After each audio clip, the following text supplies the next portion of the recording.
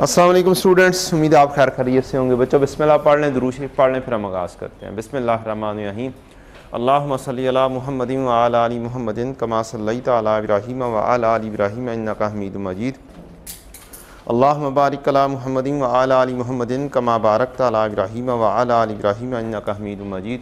Rabbi इश्रह ली सदरी व यस्सिर ली अमरी उक़दतम मिन क़ौली।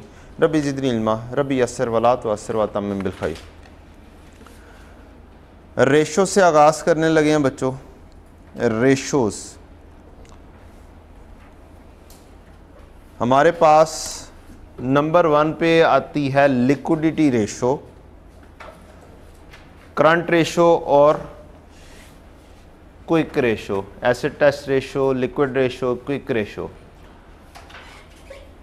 दूसरे नंबर पे सॉल्वेंसी है। सॉल्वेंसी में डेट इक्विटी रेशो, जिसका नाम दूसरा लेवरेज रेशो भी है, डेट इक्विटी रेशो भी है और गिरिंग रेशो भी है और इंटरेस्ट कवर रेशो होती है।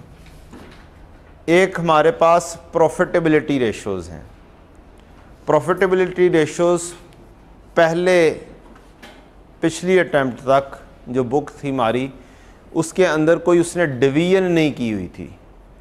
अब उसने डिवीज़न कर दी है, हमारे पास इन्वेस्टर्स रेशो आ गई हैं प्रॉफिटेबिलिटी में, सबसे पहले नंबर पर इन्वेस्टर्स प्रॉफिटेबिलिटी रेशोज़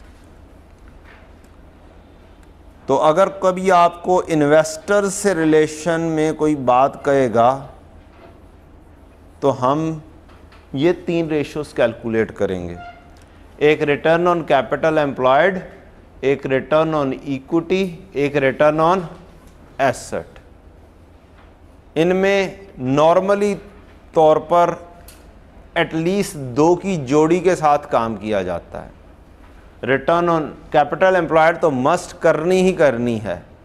उसके साथ स्नैरियो थोड़ा बहुत देखकर या रिटर्न ऑन एसेट किया जाएगा या return on share of return on equity किया जाएगा या दोनों कर दिए जाएँ, तीनों कर दिए जाएँ।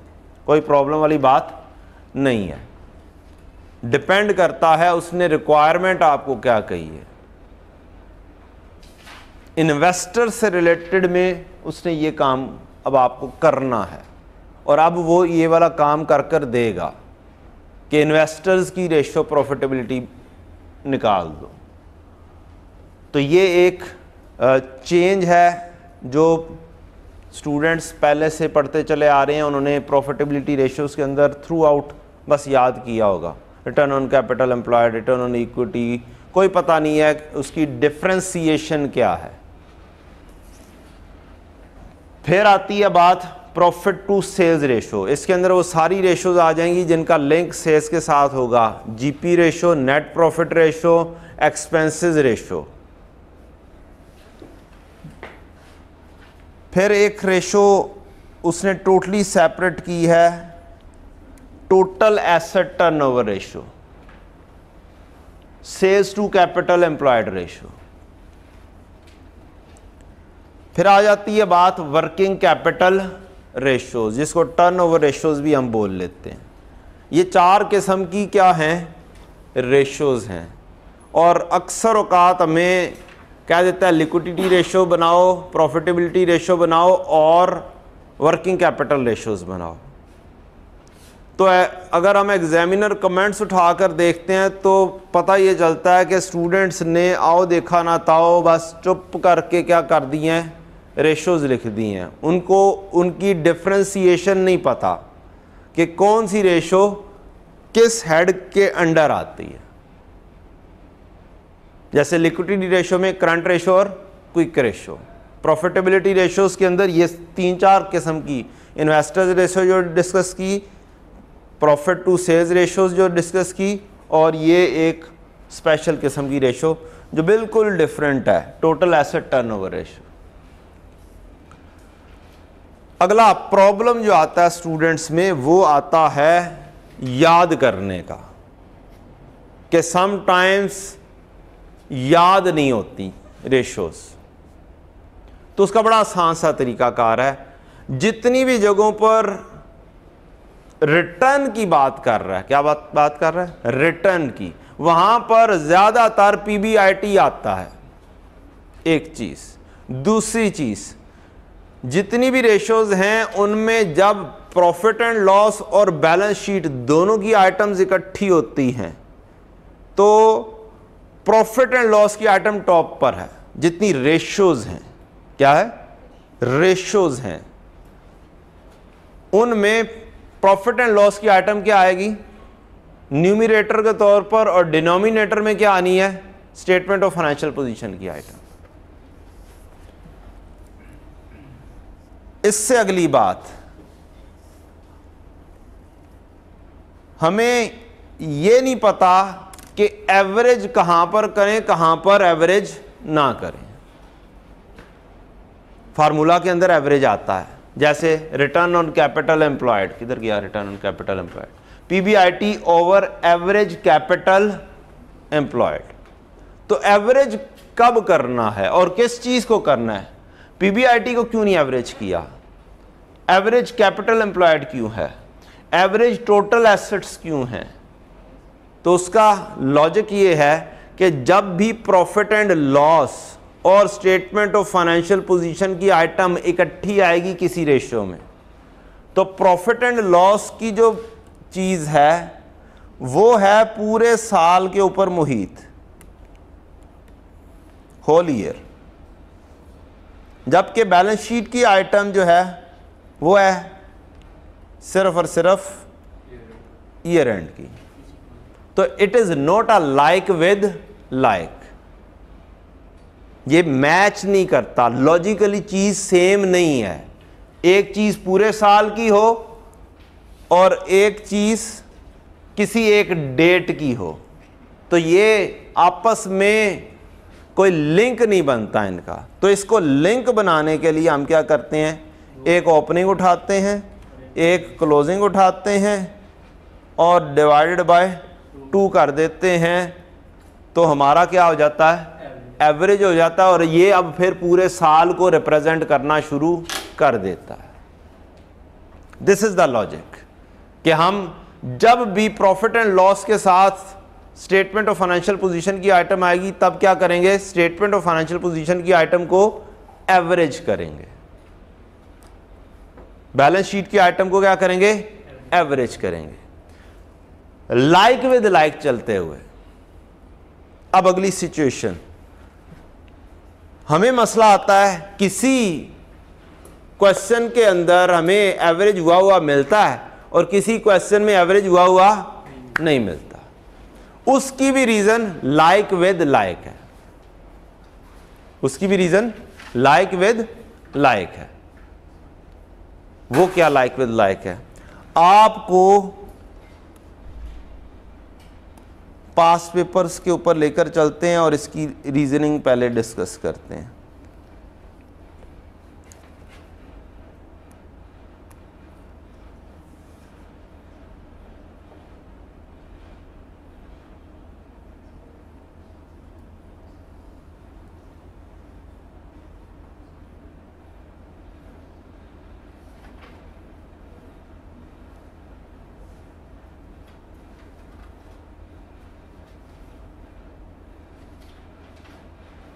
लें जी, ये क्वेश्चन है एस के लिमिटेड इसके अंदर क्वेश्चन के अंदर आपको क्या चीज़ मिल रही है? 2016 और 17 की क्या कर दो? रेशोज बना दो। अब इसके अंदर रिटर्न ऑन एसेट और रिटर्न ऑन कैपिटल एम्प्लॉयड ये दो रेशोज ऐसी हैं जिनमें क्या है? प्रॉफिट एंड लॉस की आइटम और बैलेंस शीट की आइटम इकट्ठी है। PBIT over return on capital employed और कैपिटल एम्प्लॉयड बोलते हैं किसको बोला equity plus long term loan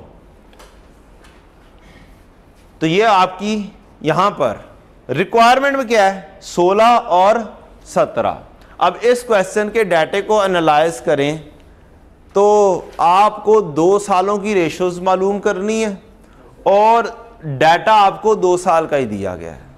मैं 2017 को जब करने बैठूँगा तो मेरे पास क्लोजिंग भी है ओपनिंग भी है। मैं एवरेज कर सकता हूँ। क्या मुझे इसी क्वेश्चन में 17 और 16 को कंपैरिजन में भी लेकर आना है? रेशोस को। दो रेशोस कैलकुलेट करनी है आपको। कंपैरिजन में लेकर आना है। अब क्या मैं 16 की एवरेज कर सकता हूँ? 16 के लिए 15 का डाटा चाहिए। ताकि मैं क्या कर सकूँ? एवरेज कर सकूँ। अब इस क्वेश्चन में दो चीज़ें हैं मुझे कंपैरिजन भी करना है पिछली रेशो से। एक में एवरेज हुआ हो एक में क्लोजिंग सिर्फ़ लिखा हो। Is it like with like एक में एवरेज पॉसिबल है एक में एवरेज पॉसिबल नहीं है। तो क्या ये आपस में कंपेयर हो सकती हैं चीज़ें दो? दो रेशोस ये कंपेयर नहीं हो सकते। इसलिए मैं मजबूरन क्या करूँगा? मैं दोनों में क्लोजिंग लेकर एवरेज करूँगा। एवरेज नहीं करूँगा। क्लोजिंग ले लूँगा और एवरेज नहीं करूँगा। क्योंकि मुझे नीचे कंपेयर करना है। Like with like once again चलना है। दिस इज़ द रीजन कि मैं मजबूरन यहाँ पे इस क्वेश्चन में एवरेज नहीं करूँगा जस्ट क्लोजिंग ले लूँगा। 16 का ओपनिंग ज़ीरो क्यों नहीं लेना? S K limited deals in a single product following are the summarise financial statement of S K L for the year ended इकतीस दिसंबर सत्रह। अगर मुझे बताया होता कि मेरा 2016 के स्टार्ट में बिज़नेस स्टार्ट हुआ है फिर पॉसिबिलिटी थी। लेकिन फिर भी लेकिन फिर भी कंपेयर नहीं हो पाएगा। मुझे कंपेयर करना है। अब अगला क्वेश्चन देखें। अगले क्वेश्चन में डाटा क्या है? सोलह सत्रह अठारह। यहाँ पर भी कितने साल की रेशियोज मांगी गई अठारह और अठारह भी एवरेज हो सकता है, सत्रह भी एवरेज हो सकता है। अब जब एवरेज दोनों पॉसिबल हैं तो अब लाइक विद लाइक ऑटोमेटिकली हो जाएगा। अब मैं क्लोजिंग लूँगा एग्जामिनर मुझे मारेगा। क्योंकि पॉसिबिलिटी उसने की हुई है। आप एवरेज कर सकते हैं, अब कोई गुंजाइश नहीं है। अब एवरेज करके ही चलेंगे। डन तो ये है लॉजिक कहाँ पर एवरेज करनी है, कहाँ पर एवरेज नहीं करनी।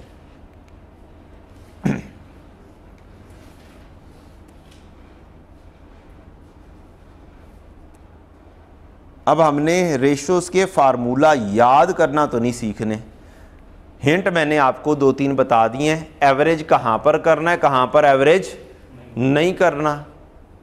एवरेज होने की लॉजिक मैंने बता दिया आपको। फार्मूलाज याद इस वक्त करवाए नहीं जा सकते। तरीकाकार एक बता दिया है कि प्रॉफिट एंड लॉस की आइटम क्या आनी है, न्यूमिरेटर में और डिनोमिनेटर में क्या आनी है? Balance sheet statement of financial position की आइटम अब आप कहेंगे कि जनाब, यहाँ पर वर्किंग कैपिटल डेज़ जो होते हैं, उनमें तो काम उलट है। बैलेंस शीट की आइटम टॉप पर है और प्रॉफिट एंड लॉस की आइटम बॉटम पे है। It is not a genuine ratio it is not a genuine ratio ratios का आंसर डेज़ में नहीं होता जेनुअनली रेशो ये वाली है. इन्वेंट्री टर्नओवर रेशो ये वाली है. Cost of sales divided by average inventory जब इसका आंसर डेज़ में चाहिए होता है तो तब हम क्या करते हैं? हम तीन सौ पैंसठ से डिवाइड कर देते हैं अपनी टर्नओवर रेशो को। और टर्नओवर रेशो को जब आप लिखते हैं तो मैथ इसको टॉप पर ले जाता है। ये मैथ है जो इसको टॉप पर लेकर जाता है और कुछ नहीं है। ठीक, ये यहाँ से ऊपर भाग जाती है और फिर रेशो इस तरीके से नज़र आती है। तो याद इससे करें और बाद में जब डेज़ में आंसर आए, उसको उल्टा दें। डन हो गया। तो ये एक छोटी सी समरी हो गई। अब अगला मसला, जो सबसे बड़ा मसला है हाउ टू इंटरप्रेट वो हमने रट्टा नहीं लगाना, वो हमने पहले लॉजिक सीखनी है लॉजिक क्या है? उस लॉजिक की बेसिस पर बेस्ट वर्ड्स को समझना है। और फिर दो किस्म के क्वेश्चन मिलेंगे। एक मिलेगा पॉसिबल रीजंस लिखो। We are open in that क्या हम उनमें से चूज़ करके लिख लेंगे? और जहाँ पर कहा होगा, कोई सिनेरियो दिया होगा बिल्डअप करके, वहाँ पर हमें देखना पड़ेगा सिचुएशन क्या let's learn how to interpret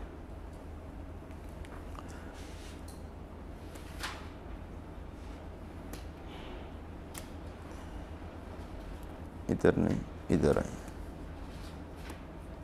यहीं पे, कहीं पे वर्किंग की हुई थी मैंने।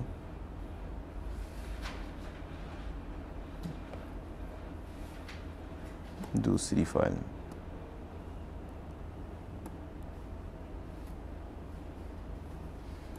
फार्मूलास चलें, सिखाते ही हैं।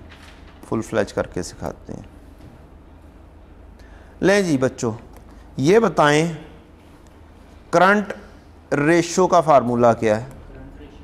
करंट रेशो का। Current asset over current liabilities यही है। 200 तकसीम 100 ये आपकी दो रेशो वन है। अगर आपका न्यूमिरेटर मैं बढ़ा देता हूँ रेशो क्या होगी? इंक्रीज करेगी। अगर मैं ये ओरिजिनल एज इट इज़ रहने देता हूँ, डिनोमिनेटर कम कर देता हूँ, अब क्या होगी रेशो अब भी रेशो बढ़ेगी। इसका मतलब है रेशो इंक्रीज करेगी न्यूमिनेटर के इंक्रीज करने से और डिनोमिनेटर के डिक्रीज करने से। दूसरी सिचुएशन मेरी रेशो है 200 सौ अगर मैं अपना न्यूमिरेटर कम कर देता हूँ मेरी रेशो क्या हो जाएगी। कम हो जाएगी। ऑन अदर हैंड मैं अपना डिनोमिनेटर बढ़ा देता हूँ, तब भी रेशो क्या हो जाएगी? कम हो जाएगी। न्यूमिनेटर डिक्रीज कर दूँ डिनोमिनेटर इंक्रीज कर दूँ, मेरी रेशो क्या हो जाएगी? कम हो जाएगी। अब इंटरप्रेट करना ज़रा सीखें। करंट एसेट करंट लाइबिलिटीज को ज़रा तोड़ें।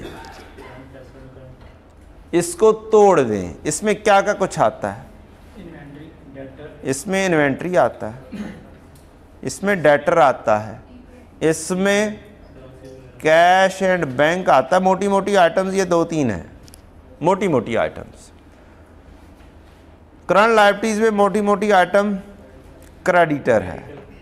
और दूसरी आइटम शॉर्ट टर्म लोन है। कुछ है क्रूड एक्सपेंसेस बहुत माइनर सी आइटम कंसिडर होगी। अब दोनों चीज़ें जो ऊपर पड़ी हैं, उसको रिलेट करें। रेशो बढ़ने की रीज़न क्या हो सकती है? ज़्यादा होने की।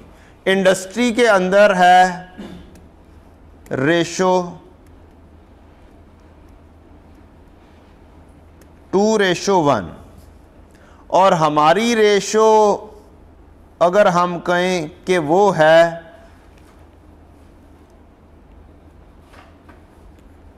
two point three two point three ratio one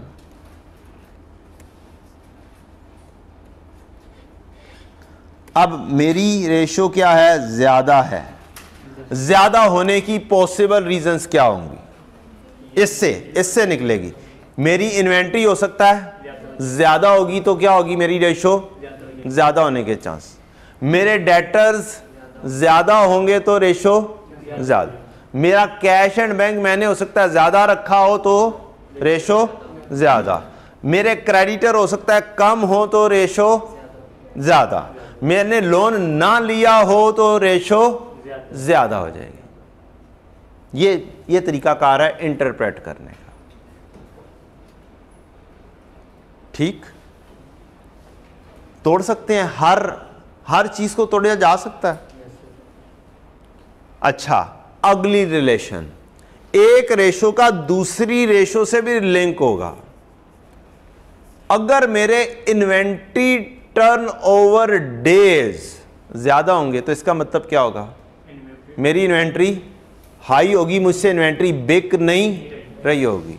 तो क्या फिर ये इन्वेंट्री हाई होने की वजह से करंट रेशो हाई हो जाएगी? दिस इज़ द तो दो तीन रेशोज को लिंक भी करना पड़ता है। क्या करना पड़ता है? लिंक भी करना पड़ता है। मेरे डाटा डेज़ ज़्यादा हो।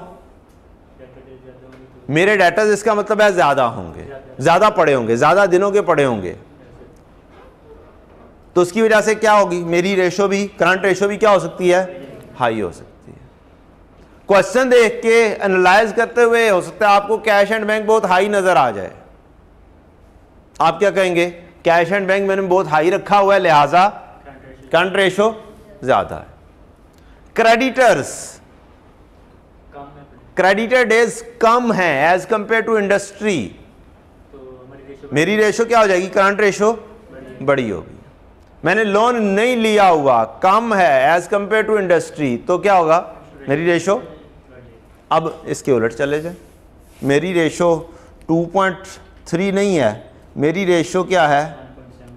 1.7 रेशो वन अब मेरी रेशो कम है as compare to industry possible reasons possible reasons मेरी इन्वेंट्री हो सकता है? इंडस्ट्री से मैंने कम रखी। हो सकता है मैं जस्ट इन टाइम सिस्टम पर चल रहा हूँ। जिट सिस्टम ज, वो क्या होता है? बहुत कम रखते हैं हम इन्वेंट्री जैपनीज सिस्टम है बहुत कम इन्वेंट्री हम मेंटेन करते हैं। और हम ऑर्डर देते हैं, हमें इन्वेंट्री मिल जाती है। टाइमली तो हमें स्टॉक रखने की ज़रूरत क्या पड़ती है? कम पड़ती है। अपने पास मटेरियल की। और हम बड़ी स्पीडली बेचते हैं। ठीक? तुम्हारा स्टॉक बड़ी जल्दी बिकता है इन्वेंट्री का। हमने एफिशिएंट डेटर मैनेजमेंट रखी हुई है। रिकवरी टाइमली होती है। डेटर्स कम होंगे। कैश एंड बैंक में बहुत ज़्यादा मेंटेन करके नहीं रखता। मैं इन्वेस्ट कर देता हूँ। लॉन्ग टर्म इन्वेस्टमेंट में भेज देता हूँ। मेरे पास इजाफी हो तो। क्रेडिटर मैंने ज़्यादा रखे हुए हैं। मैं ज़रा उन्हें डिले में, मैंने उनसे निगोशिएशन अच्छी की हुई है। मुझे ज़्यादा मैं ले लेता हूँ। शॉर्ट टर्म लोन मैंने लिया हुआ है। यह भी हो सकता है मैंने शॉर्ट टर्म लोन लेकर कोई फिक्स एसेट खरीद लिया हो। तो these are the possible reasons अब तोड़े, दूसरी रेशो को तोड़ें। कोई रेशो आप बोल कोई रेशो बोल रिटर्न ऑन इक्विटी कुछ ज़रा और औखी बोल लेनी थी यार। रिटर्न ऑन कैपिटल एम्प्लॉयड सबसे मशहूर है ज़माना। क्या है जी? P B I T over capital employed अब एवरेज का फ़िलहाल नहीं इंटरप्रिटेशन में हमने देखना हमने इसको तोड़ना है। P B I T sale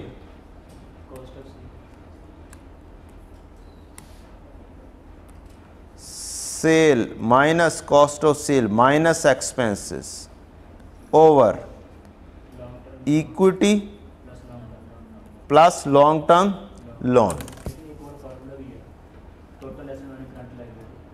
तो हो सकता है अभी पहले एक को तो देखने देना। ले जी। इसके हाई होने की रीजंस क्या होंगी? मैंने सेल्स बढ़ा दिया। मैंने अच्छे मार्जिन के ऊपर सेल करता हूँ। मैं मार्केट लीडर हूँ, मैं बेहतर तौर पर सेल करता हूँ एज कंपेयर टू अदर मैं इकोनॉमीज ऑफ़ स्केल के ऊपर हूँ, मैं बल्क में बाय करता हूँ, जिसकी वजह से मुझे डिस्काउंटेड प्राइस मिलती है। मेरी कॉस्ट ऑफ़ सेल्स क्या है? कम है। मेरी रेशो क्या होगी? ज़्यादा होगी। मैंने एक्सपेंसेस को अच्छा मीट किया हुआ है। एक्सपेंसेस कम है। ऑपरेटिंग एक्सपेंसेस मेरे, मैं मैनेज करके चलता हूँ। मेरा प्रॉफिट ज़्यादा होगा रेशो क्या होगी? ज़्यादा होगी। Equity as compare to industry मैंने कम ली हुई है कम इशू की हुई है कम के ऊपर हूँ तो क्या होगा? तो रेशो बढ़ जाएगी। लॉन्ग टर्म लोन मैंने कम लिया हुआ है as compare to overall average मैंने जो डिविडेंड दे दिया है डिविडेंड देने से क्या होता है? Retain earning debit dividend payable credit निकल गया। इक्विटी में से रिटेन अर्निंग में से पैसा कम. Equity down equity down ratio up these are the possible reasons ठीक है? तो इस तरीके से कोई आपको रेशो नहीं भी आती, कोई रट्टा नहीं भी लगा हुआ तो भी क्या कर सकते हैं आप? इंटरप्रिटेशन कर सकते हैं। अब अगला काम आता है हमने अच्छे अल्फाज, जिन अल्फाज में एग्जामिनर लिखता है, वो सीखने हैं। और वो रेपिटेशन में आते हैं। क्या होते हैं? रेपिटेशन में वो कोई 10-15 किस्म के जस्ट वर्ड्स हैं और फिक्रे हैं जो हमें बस याद करने हैं। और फिट इन करने होते हैं उसकी रेशो के हिसाब से। बस। हाँ जी, हमने ये सीख लिया। कि करनी कैसे है इंटरप्रिटेशन अब हम देख लेते हैं कि रीजनिंग क्या क्या पॉसिबल है।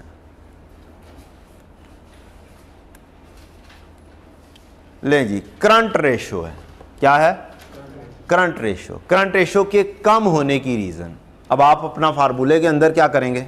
फिटन कर देंगे कि क्या क्या कुछ है। तोड़ देंगे इसको। Debtor plus inventory plus cash divided by creditor plus short term loan अब तोड़ लेंगे शॉर्ट में लिख के। सोचेंगे, अब सारी की सारी चीज़ें। अब अच्छे अल्फाज। Low inventory levels are maintained by the company ये पॉसिबल रीजंस की बात हो रही है। कोई स्पेसिफिक इशू दिया होगा, उसमें से देखेंगे ट्रिगर कौन सी हो रही है इसमें से। कौन कौन सी फिट इन हो रही है। फिर अन्य नहीं किया जाता। चलो जी, लिख दो, ठा ठा ठा ठा ठा। Shorter credit terms are given to debtor debtor shorter credit terms दिए होगा तो क्या होगा? डेटर कम होंगे। इसको एफिशिएंट डेटर मैनेजमेंट के अल्फाज पे भी आप लिख सकते हैं। बस एक अल्फाज एफिशिएंट डेटर मैनेजमेंट कहानी खत्म। Availed extended credit term from the supplier supplier से एक्सटेंडेड टर्म ली होगी तो क्रेडिटर ज़्यादा होंगे रेशो कम होगी।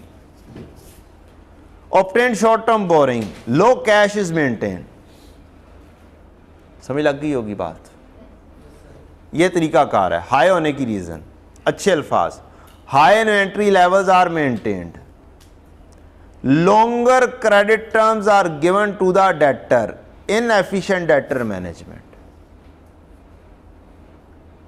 not able to get longer credit term from supplier high cash and bank balances maintained तैयार हो गई अब करंट और क्विक में क्या फ़र्क है?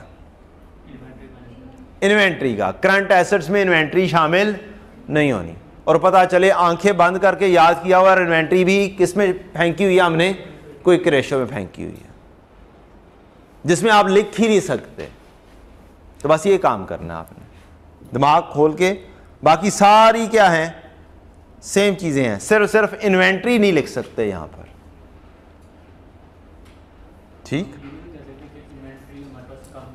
बेटा जी, क्विक रेशो में नहीं कुछ कह सकते ना। क्विक रेशो में तो करंट एसेट्स में से वैसे इन्वेंट्री को साइड लाइन कर देना आपने। जब वो साइड लाइन नहीं हो जानी है तो फिर फिर अगर इन्वेंट्री की कहानी क्विक रेशो में लिख दोगे तो फिर एग्जामिनर क्या कहेगा? फिर मिलेंगे इंशाल्लाह। उसने फिर ये कहना है। हाँ तो इसी तरह की हरकतें हम ढेर सारी कर देंगे तो उसने यही कहना है कि फिर मिलेंगे। तो ये होगी लिक्विडिटी रेशियो गिरिंग रेशियो पे आ जाएँ।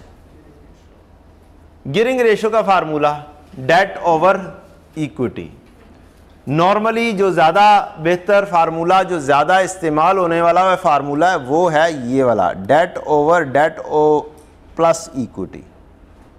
ये वाला इस्तेमाल होगा अगर कुछ नहीं लिखा हुआ तो। जिसका आंसर आपका अराउंड 50 परसेंट या उससे कम के नज़दीक आ रहा होगा। अब इसको तोड़ेंगे तो ये लॉन्ग टर्म डेट है long term loan over long term loan plus equity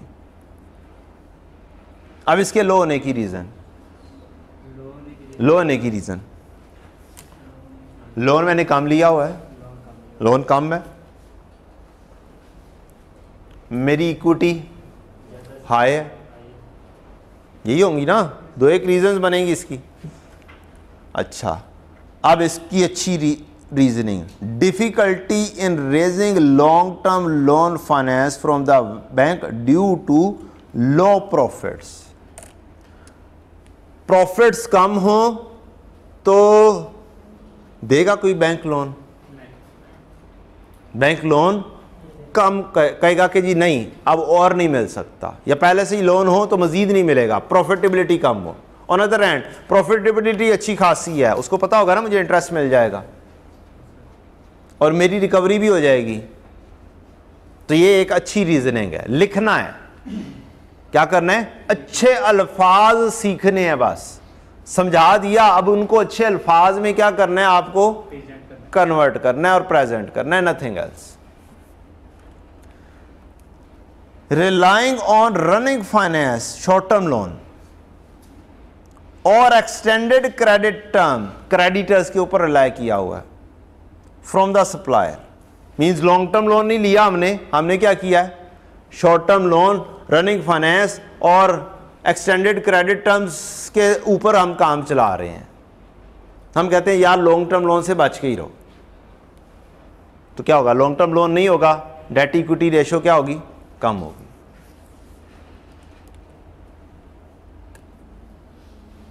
high होने की रीजंस हाई होने की रीजंस क्या आप इक्विटी को बहुत सारे हिस्सों में तोड़ सकते हैं? मसलन शेयर कैपिटल है शेयर प्रीमियम है रिटेन अर्निंग है जनरल रिज़र्व हैं रिवेल्यूशन सरप्लस है। ये सारी चीज़ें हैं। मीन्स आप इन सबको तोड़कर खेल सकते हो। हाई होने में भी तो तोड़कर खेल सकते थे। तोड़ दें, कोई मसला नहीं। हाई होने की रीज़न इक्विटी कम। थोड़ी देर पहले भी बात की थी डिविडेंड दे दिया। क्या कर दिया? डिविडेंड दे दिया इक्विटी डाउन इक्विटी डाउन तो डेट इक्विटी रेशो हाई ठीक है ना? तो ये अल्फाज अब हमने सीखने हैं, क्या क्या रीज़न होंगी। Decrease in reserve due to dividend pay out ये एक अच्छे अल्फाज हैं। पता चले उसके अंदर एग्जामिनर ने लिखा, हमने डिविडेंड दिया ही नहीं।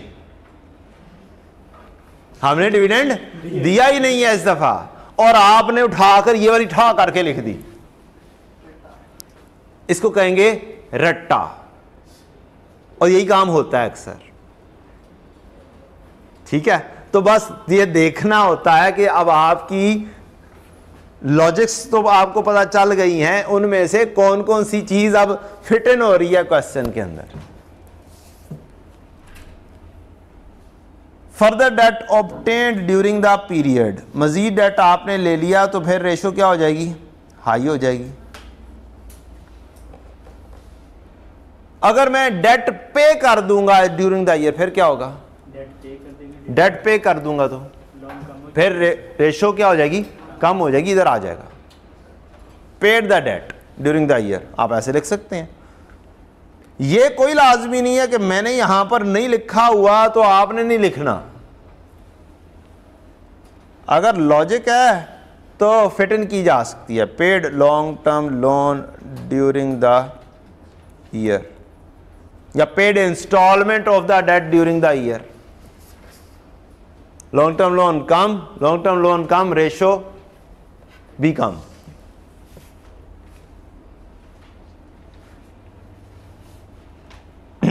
decrease in ratio equity might be due to of shares buy back of shares कहते हैं, खरीद लेना, अपने ही शेयर्स खरीद लेना।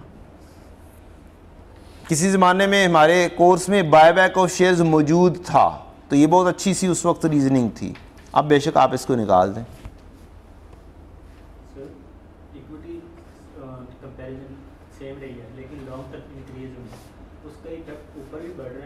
बेटा पॉसिबल रीजंस की बात हो रही है। बढ़ रहा है, ठीक है, बिल्कुल बढ़ रहा है और कम हो रहा है। उसकी भी आगे जाके हम बात कर सकते हैं कि दोनों साइडों पे बढ़ जाएगा तो क्या होगा? दोनों साइडों पे बढ़ जाएगा तो क्या होगा? चलें, आपने बात की है लॉन्ग टर्म लोन की बात कर रहे हैं। लॉन्ग टर्म लोन आप सो तस्वुर कर लें। सो ये लॉन्ग टर्म लोन आ गया। और इक्विटी आप कह लें ये रेशो बताएँ क्या बनेगी? ये बन जाएगी? जी? अब आप कह रहे हैं कि मैं लॉन्ग टर्म लोन को कम कर देता हूँ, ये नबे पे ले आता हूँ, ये नबे पे आ गई, अब रेशो क्या बन रही है?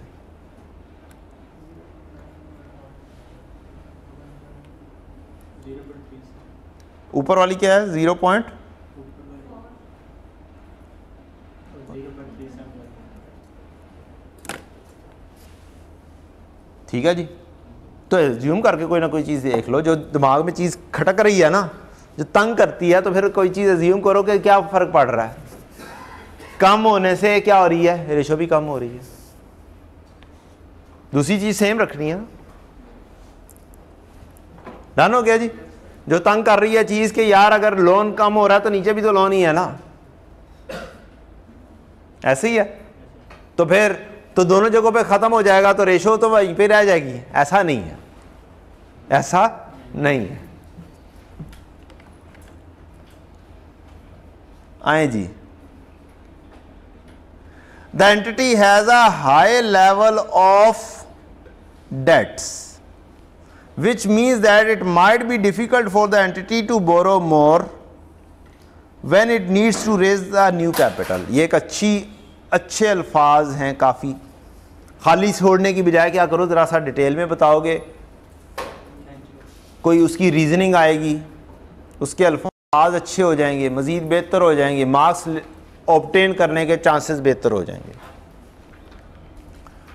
High gearing can indicate a risk high gearing risk that the entity will unable to meet its payment obligation to lenders when the obligations are due for the payment, ज़्यादा गियरिंग हो जाएगी तो उसकी एक ये रिज़ल्ट निकल सकता है। ये रिज़ल्ट्स के अंदर आ सकता है, ये पॉसिबल रीजनिंग के ऊपर इसको फिट नहीं किया जा सकता है। इंटरेस्ट कवर रेशो पीबीआईटी अब पीबीआईटी के अंदर क्या हम पीबीआईटी की सारी बातें डिस्कस कर चुके वो जहाँ पर भी पीवीटी आएगा सेल्स ज़्यादा है कॉस्ट ऑफ़ सेल्स कम है इन क्या नाम है एक्सपेंसेस कम है वो सारे के सारे यहाँ पर फिट इन हो सकते हैं। पीबीआईटी टॉप पर है इंटरेस्ट कवर बॉटम पर है इंटरेस्ट एक्सपेंस तो यहाँ पर ज़्यादा, जितनी भी रीजनिंग ज़्यादा होने की है, इनको, चीज़ों को बढ़ा दो, वो सारी रीजनिंग यहाँ पर फिट इन हो सकती हैं। इसके अलावा increase in finance cost due to new loans taken आपकी डेट इक्विटी का रिलेशन भी इसके साथ हो जाएगा। डेट ज़्यादा होगा तो इंटरेस्ट क्या होगा? बोले जी डेट ज़्यादा इंटरेस्ट ज़्यादा इंटरेस्ट ज़्यादा तो रेशो क्या हो जाएगी? कम हो जाएगी। Increase in finance cost due to new loan taken ये एक अच्छी लो होने की रीजनिंग है। और पता चले दूसरी साइड पे लॉन्ग टर्म लोन लिया ही नहीं हुआ हमने। और हमने यही वाली रीजनिंग लिख दी। तो फिर हमें क्या कहेगा एग्जामिनर क्या? आपकी बड़ी मेहरबानी के तरीके से पढ़ लिया करें, कुछ ना कुछ कर लिया करें, ये चीज़ है। लॉजिकल चीज़ है लॉजिकल पढ़ना है। रिलेट करना है। उसको कहेंगे इंटरप्रेट करना। जब आप रिलेट ही नहीं करेंगे तो इंटरप्रेट क्या खाक होगा वो? आँखें बंद करके नहीं उठा के, आँखें बंद करके सारी इंटरप्रिटेशन उठा के लिख देनी है। These are the possible reasoning हाँ अगर वो पॉसिबल की कहानी कहेगा, फिर तो जो मर्ज़ी लिखो। लेकिन जहाँ पे कोई ना कोई चीज़ दी हुई है डेट इक्विटी रेशियो में रेशो जा रही है डाउन और आपने लिखा हुआ है ये वाली चीज़ फाइनेंस कॉस्ट इंक्रीज जा रही है। कि आपने न्यू लोन लिया हुआ है? डेट इक्विटी रेशियो डाउन है, और इधर आपने ये वाली रीजनिंग लिख दी है। तो फिर क्या होगा, फिर तो काम बहुत गड़बड़ होगा। फिर प्रॉफिटेबिलिटी की तरफ़ आपको जाना पड़ेगा। बजाय आप इस तरफ़ आए। डिक्रीज इन ओवरऑल प्रॉफिटेबिलिटी बस ये कुछ अच्छी रीजनिंग के अंदर इन एडिशन टू अदर जो बाकी हमने डिस्कस कर ली हैं। Higher reduction in finance cost due to repayment of loan increase in overall profitability अब बार बार एक ही अल्फाज लिखते अच्छी बात नहीं लगती है। कि कहीं और भी रिटर्न ऑन कैपिटल एम्प्लॉयड भी आया हुआ है, उसके अंदर मैंने अच्छे दूसरे अल्फाज लिख दिए हैं और फिर मैं सेम अल्फाज यहाँ पर भी फिट इन कर दूँ। तो फिर कुछ अल्फाज क्या करने हैं? हल्के फुल्के से चेंज करने हैं। कि ओवरऑल प्रॉफिटेबिलिटी वगैरह बेहतर है। ले जी, आ जाएँ। रिटर्न ऑन कैपिटल एम्प्लॉयड यहाँ पर वो सारी चीज़ें आ जाएँगी। पीबीआईटी वाली। अच्छे अल्फाज। Low profit margin by deliberately keeping the selling price lower to gain the market share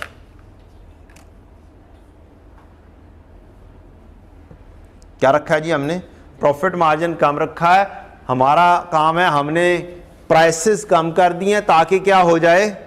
हमारा मार्केट शेयर थोड़ा सा हाई हो जाए प्राइसेस कम होने की वजह से प्रॉफिट की रेशो कम हो गई। हो सकता है ओवरऑल प्रॉफिट बढ़ गया हो, वो हम दूसरी साइड पर लिख सकते हैं। इसी को इस साइड पर भी बिठा सकते हैं। सेम इसके अंदर चेंजेस करके बढ़ा बिठा सकते हैं। मसलन, हम कहें, हमने डेलिबरेटली सेल प्राइस को कम किया to gain the market share and might be we got the more market share जिसकी वजह से हमारी प्रॉफिटेबिलिटी क्या हो गई है? ओवरऑल प्रॉफिटेबिलिटी बढ़ गई है। तो यही वाले अल्फाज चेंज करके मैं क्या कर सकता हूँ? इधर भी फिट इन कर सकता हूँ। लेकिन थोड़ी सी उसकी रीजनिंग थोड़ी सी चेंज करनी है। तो उधर भी फिट इन किया जा सकता है। Relatively new non current asset जब नए नॉन करंट एसेट होंगे तो डेप्रीसिएशन क्या होगी? डेप्रीसिएशन हाई होगी तो प्रॉफिट क्या होगा? कम हो जाएगा। प्रॉफिट कम होगा तो रेशो क्या होगी? कम होगा। Have high carrying value high depreciation business आपका नया है। रेशो क्या हो जाएगी आपकी? बिज़नेस नया है। बिज़नेस नए के अंदर खर्चे ज़्यादा होते हैं या कम होते हैं? नए बिज़नेस में खर्चे ज़्यादा होते हैं, आपको नहीं पता होता कौन सी चीज़ कहाँ से बाय करनी है।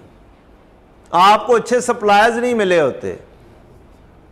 या आप चल ही थोड़ा थोड़ा सा हल्के हल्के रहे होते हैं। तो जब थोड़ी चीज़ बाय करेंगे तो क्या होगी? हाई रेट में मिलेगी। हाई रेट में मिलेगी तो प्रॉफिटेबिलिटी क्या होगी? कम होगी। प्रॉफिटेबिलिटी कम होगी तो रिटर्न ऑन कैपिटल एम्प्लॉयड कम हो जाएगा। अब दूसरी साइड पर चले जाएँगे। उसका दूसरा हिस्सा कैपिटल एम्प्लॉयड का हिस्सा दूसरा। High share holder equity higher investment in working capital using long term loan आपने डेटर्स का इन्वेंट्री खरीदने के लिए शॉर्ट टर्म लोन का सहारा नहीं लिया। आपने क्या किया? लॉन्ग टर्म लोन का सहारा लिया। लॉन्ग टर्म लोन लेके वर्किंग कैपिटल में इन्वेस्ट कर दिया। उससे क्या हुआ? ये वाली रेशो तो गई। ये वाली रेशो तो गई क्योंकि लॉन्ग टर्म लोन बढ़ गया लॉन्ग टर्म लोन बढ़ने से रेशो डाउन आ गई। Inefficient operating expenses management expenses high profit down profit down तो रेशो डाउन इधर के अच्छे अल्फाज। सारे उसके सारे उल्टा भी नहीं कर देने ना। कर सकते हैं। उल्टे कर सकते हैं, किए जा सकते हैं। अगर आप लॉजिकल चल रहे होंगे तो बस चंद अल्फाज आपको पूरी रेशोज में चाहिए होंगे। चंद अच्छे अल्फाज इंटरप्रेट करने के लिए। चंद अच्छे जिसे कहते हैं ना, फिक्रे। बस और कुछ नहीं चाहिए, साथ आपको लॉजिक चाहिए। नहीं भी अच्छे फिक्रे हैं तो अपने अल्फाज के अंदर कम अज कम लिख सकते हो। लिख सकते हो ना? Better quality good perception and branding ये हमें एनेबल करती है कि हम ज़्यादा प्रॉफिट चार्ज करें अपनी प्रोडक्ट का। प्रॉफिटेबिलिटी ज़्यादा होगी ब्रांड्स क्यों ज़्यादा कमाते हैं? एक अच्छी क्वालिटी होती है। जब क्वालिटी होती है तो लोग खरीदते ज़्यादा हैं। ज़्यादा खरीदते हैं, ज़्यादा मार्जिन भी ज़्यादा रखा होता है उन्होंने। वही वाला सूट जे डॉट के ऊपर क्या होगा? महँगा होगा, और वही वाला सूट आप जाके किसी और शॉप से ख़रीद के स्टिच भी करवा लेंगे, अच्छी जगह से तो भी हो सकता है सस्ता पड़ जाए। लेकिन जे डॉट जे डॉट है। महँगा है, लेकिन बिकता है। ठीक है ना? एक ट्रस्ट डेवलप हो जाता है। फिर हम हैं वैसे ही लेजी कौम कौन जाके खरीदे? कपड़ा, फिर जाके स्टिच करने के लिए दे, फिर कहीं पे जाके हफ़्ते बाद मिले। जाएँगे? जाके पैसा खर्चा ब्रांड उठाया और ख़रीद के जा रहा गए। पता चला, अगले दिन, दो दिन बाद है कज़न की शादी। अर्जेंट। अब तो स्टिच तो नहीं हो सकता। रातों रात अब तो फिर जे डॉट और इस तरह की चीज़ें ही पहनी जाएँगी। खाडी, ये, वो, इधर, उधर, मुख्तलिफ़ किस्म के ब्रांड्स। हाँ टाइम हो तो फिर जो मर्ज़ी करते रहे। अगली जनाब, डेट इक्विटी रेशो में अगर हम लोन को कम कर दें तो रेशो क्या हो जाएगी लोन को कम कर रेशो बढ़ेगी और अगर गिरिंग रेशो ही कम हो तो?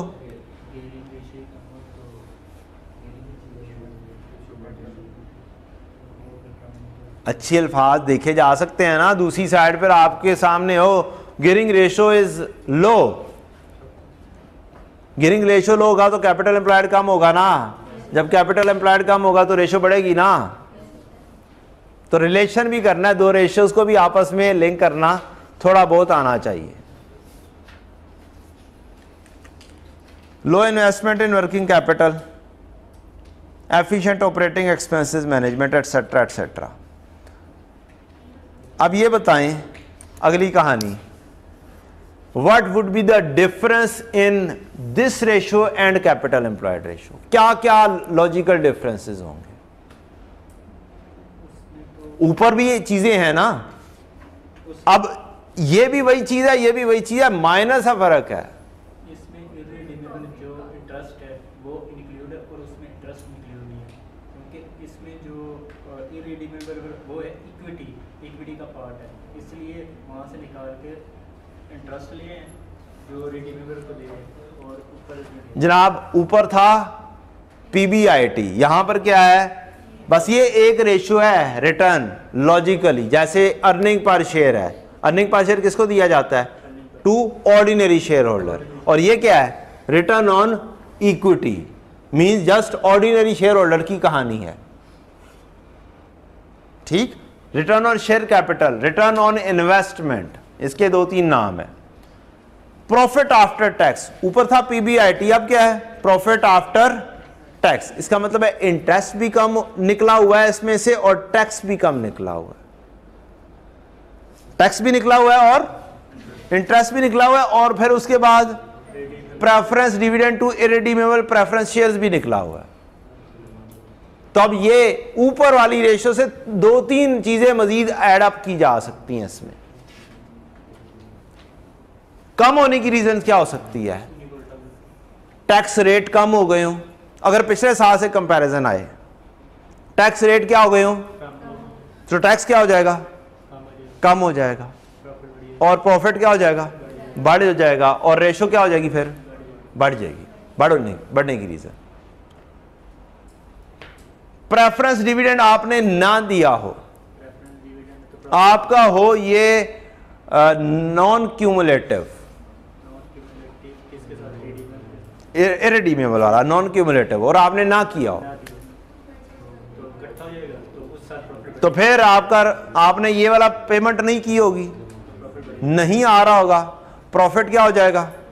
बढ़ जाएगा। प्रॉफिट बढ़ेगा तो रेशो बढ़ जाएगी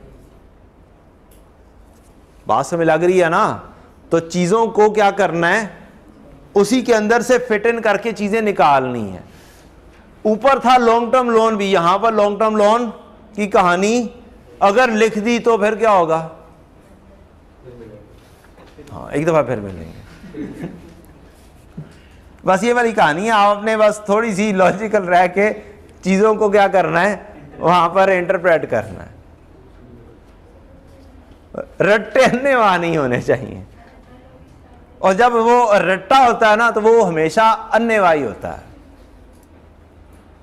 रट्टा अन्यवाही होता है। मैं सिर्फ़ सिर्फ़ कह रहा हूँ, आपने अच्छे अल्फाज बस याद कर रहे हैं और अच्छे अल्फाज को लिंक करना है। ऑप्टेंड इकोनॉमीज ऑफ़ स्केल एक अच्छा वर्ड है, कहीं पर भी फिट इन किया जा सकता है पीबीआईटी के अंदर भी फिट इन किया जा सकता है, यहाँ पे भी किया जा सकता है। ऑपरेटिंग एक्सपेंसेस एफिशिएंट की बात हो चुकी क्वालिटी की बात हो चुकी। Market leader charging high prices and managing high market share ये एक अल्फाज हो सकते हैं अच्छे। इधर आ जाएँ लोअर होने की रीज़न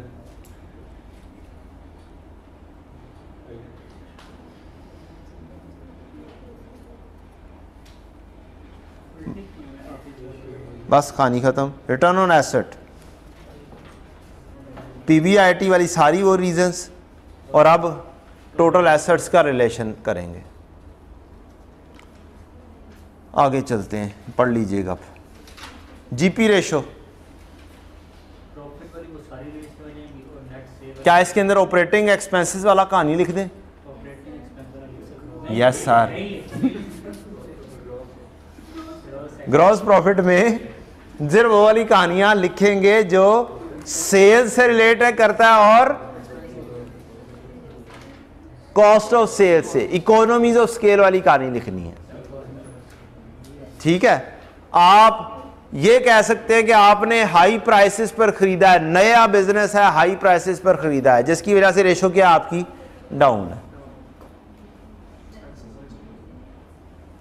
ठीक है जी? तो ये अच्छे अल्फाज देख लेते हैं। Purchase of raw material at high prices as compared to competitor ratio क्या हो जाएगी? Down inability to obtain economies of scale in production as compared to co- competitor high production cost due to inefficiencies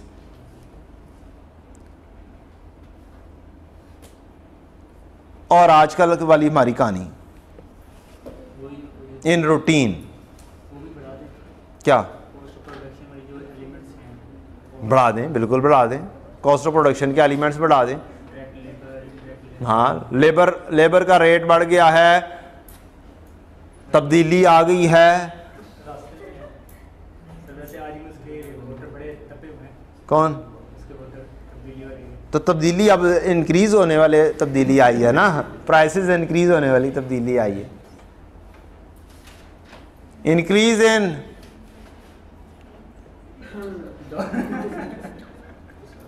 हाँ तो आप import करते हैं अगर material तो क्या होगा? तो सब कुछ क्या हो जाएगा? डॉलर से हो जाएगा। ये तो आज का लाजमी तौर पर लिखना चाहिए।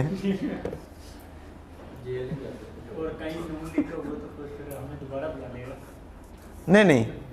जो मर्ज़ी हो उसने लॉजिकल लॉजिकल चीज़ें देखनी है।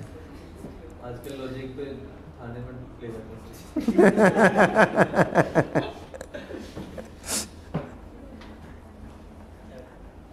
high production cost deliberately keeping selling price बाकी सारी चीज़ें वही हैं। ये एक अच्छी चीज़ है। Due to efficient production techniques और economies of scale thereby have lower cost मुख्तलिफ़ अल्फाज हैं मुख्तलिफ़ जगह पे आपको बस लिखे हुए मिलेंगे। अब जीपी और नेट प्रॉफिट में क्या फ़र्क लेकर आएँगे? ऑपरेटिंग एक्सपेंसेस आ जाएगा। और टैक्सेस की कहानी आ जाएगी इंटरेस्ट वाली भी आ जाएगी इंटरेस्ट वाली भी आ जाएगी। तो ये सारी चीज़ें आप कंपैरिजन में लेकर आएँगे। सेम रेशोज़ हैं और चंद चीज़ें आप लिख सकते हैं। Efficient management of operating cost जिसकी वजह से रेशो हमारी डाउन है। High gearing ratio result in high interest cost मेरी गियरिंग रेशो हाई होगी इंटरेस्ट ज़्यादा होगा इंटरेस्ट ज़्यादा होगा तो मेरी ये वाली रेशो भी क्या हो जाएगी? नेट प्रॉफिट वाली रेशो कम हो जाएगी। Managing well of operating cost low gearing result in low interest cost तो अब आप ये चीज़ें क्या कर सकते हैं? आराम से आई बिलीव इट सो अब आप खुद लिख सकते हैं। डन है जी? लिख लोगे ना? और बाकी पढ़ लोगे I believe it so ratios हो गई हैं मेरी तरफ़ से। क्या? आप मैं मज़ीद डिस्कस करना है तो कर, कर देता हूँ। इधर आ ये ये चीज़ डिस्कस करने वाली है। इन्वेंट्री टर्नओवर क्या जी? अब टर्नओवर की वर्किंग कैपिटल की कहानियाँ अब इसके अंदर क्या करोगे?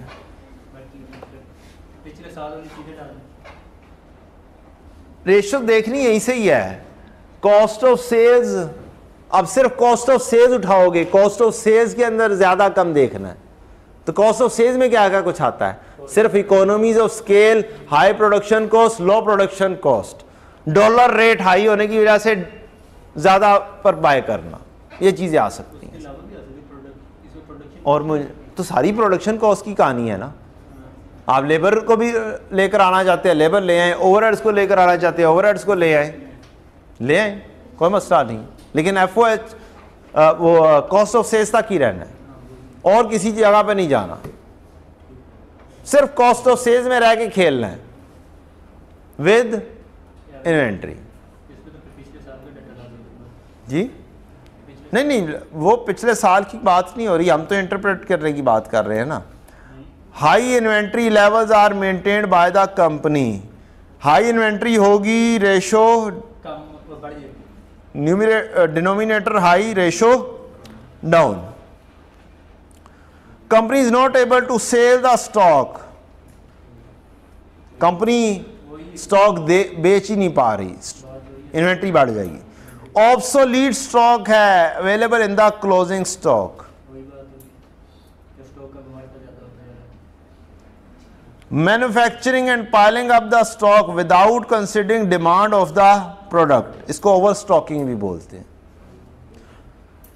बगैर देखे कि मेरी डिमांड क्या है, क्या नहीं है, बस बनाए जाओ बनाए जाओ बनाए जाओ, बना के रखे जाओ, आ जाएँगे customer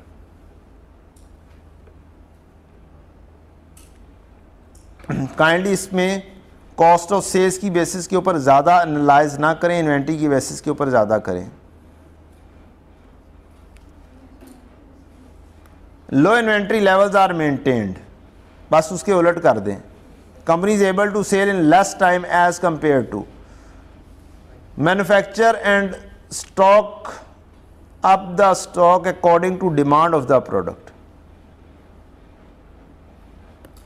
selling more goods while holding the same amount of inventory ज़्यादा आप बेच रहे हैं सर्कुलेशन में ज़्यादा है इन्वेंट्री कम रखी हुई है आपने।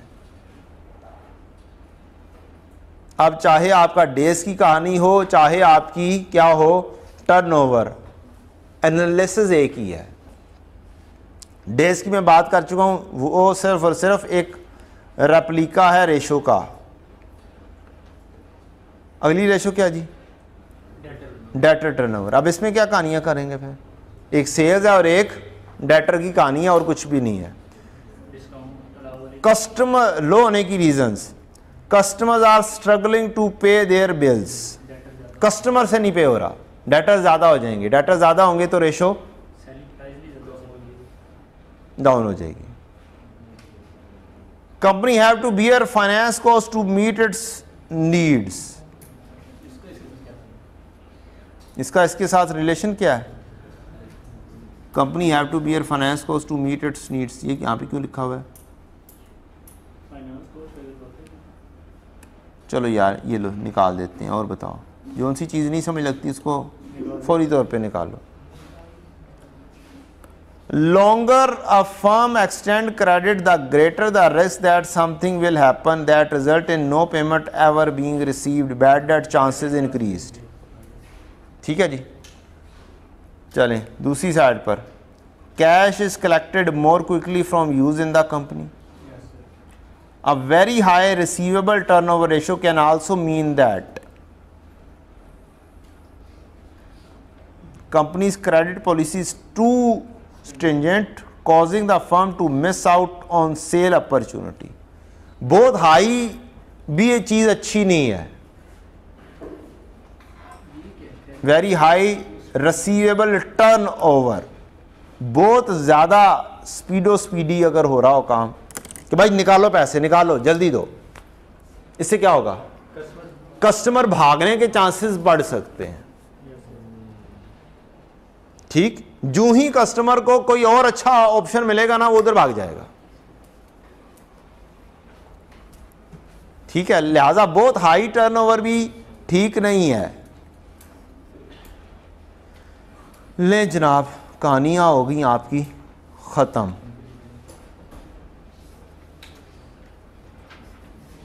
बिज़नेस साइकिल के अंदर भी आपको देखना होता है कि आपका सारी चीज़ें बैलेंस चल रही हों। क्या चल रही हों? बैलेंस चल रही हों। और इसमें पिछले सालों से या इंडस्ट्री से कंपैरिजन भी ज़रूरी है। अगली चीज़ आती है आपका हॉरिजॉन्टल और वर्टिकल एनालिसिस हॉरिजॉन्टल कहते हैं इसको और वर्टिकल कहते हैं इसको। हॉरिजेंटल मींस पिछले साल से कंपेयर करना। हॉरिजॉन्टल मींस पिछले साल से कंपेयर करना। वर्टिकल मींस करंट ईयर में ही आप कंपैरिजन कर सकते हैं।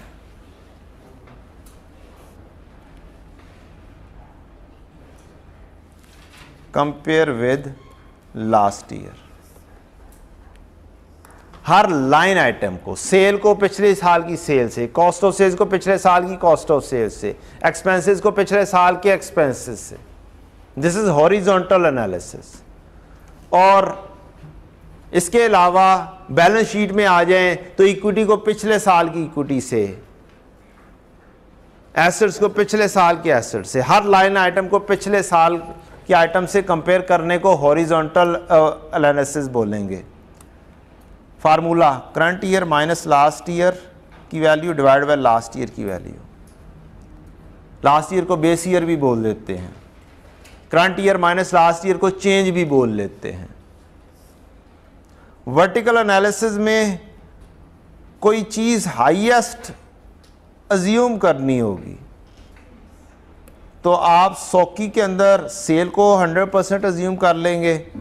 स्टेटमेंट ऑफ़ फाइनेंशियल पोजीशन में एसेट में एसेट को इक्विटी एंड लाइबिलिटी में टोटल इक्विटी एंड लाइबिलिटी को या टोटल एसेट को, वो कर लेंगे और जस्ट कैलकुलेशंस करना है इसके अंदर। में नहीं, आपकी मेहरबानी होगी। फार्मूला क्यों सेम रहेगा? ऊपर वाले का फार्मूला हॉरिजेंटल वाले का फार्मूला है last current year minus last year divide by last year की वैल्यू मल्टीप्लाई बाय हंड्रेड करना है, कर लें, नहीं करना, ना करें, खैर है। पॉइंट्स में आंसर आ जाएगा, उसको परसेंटेज में लिखना चाहें परसेंटेज में लिख दें, ना लिखना चाहें, ना लिखें।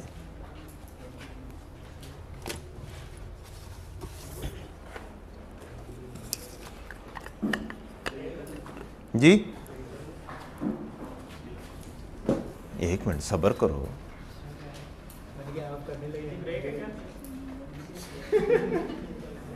मेरी ब्रेक है। पानी पीने की।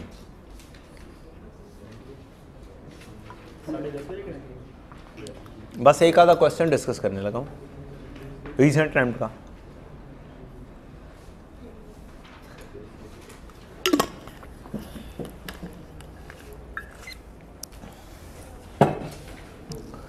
लें जी।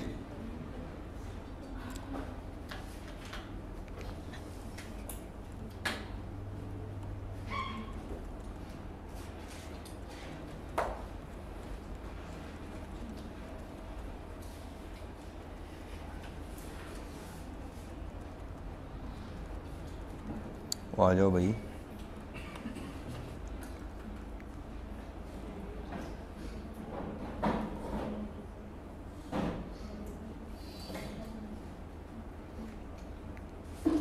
हमारा एग्ज़ामिनर बहुत अच्छा है, माशाल्लाह से। और हमें कहता है कि यार कंपैरिजन करो और बनाओ इंक्रीज डिक्रीज बताओ। हम पॉलिसी भी चेंज कर रहे हैं तो भी बताओ, कोई टेंशन नहीं। क्या कह रहा है जी इस क्वेश्चन में? अ, सबसे पहले तो आपको कहता है कि आप फाइनेंस मैनेजर हैं। क्या हैं? आप फाइनेंस मैनेजर हैं। अक्सर तो आपको टॉप लेवल पर बिठाता है। आपको कहता है फील इट क्या करो इसे? फील करो फील करा के तकलीफ़ और फिर लेकिन इसमें उसने फील नहीं करवाया। आपके टॉप पर एक और बंदा बिठा दिया है। कहता है, एक नया सीएफओ आया है। और उसने कहा है कि, क्या करते रहे हो? अपनी अकाउंटिंग पॉलिसीज़ चेंज करो, ताकि फाइनेंशियल रेशियोज क्या हो जाएँ, आपकी बेहतर हो जाएँ। उसने सजेस्ट किया है कुछ पॉलिसी चेंज कहता है इन्वेस्टमेंट प्रॉपर्टी को कॉस्ट मॉडल से फेयर वैल्यू मॉडल पर ले जाओ। एंट्री क्या होगी? फेयर वैल्यू मॉडल्स में एंट्रीज क्या होती हैं? आगे चल के बात करते हैं। Subsequent measurement of property plant and equipment from cost model to revaluation model कहता है cost formula inventory weighted average से क्या कर दो? फाइफो पे ले जाओ। और आपने कुछ चीज़ें एज्यूम करनी हैं कि फेयर वैल्यू हो कॉस्ट हो प्राइसेस हो, ये सारी इंक्रीज ओवर द टाइम होंगी। Maximum possible amount of the revaluation surplus to retain earning would be transferred on an annual basis incremental depreciation होगी। पीरियोडिक इन्वेंट्री सिस्टम फॉलो होगा। ये तीन चीज़ें ज्यूम करके आपने क्या करना है? बताना है इफ़ेक्ट इंक्रीज डिक्रीज या कोई इफ़ेक्ट नहीं।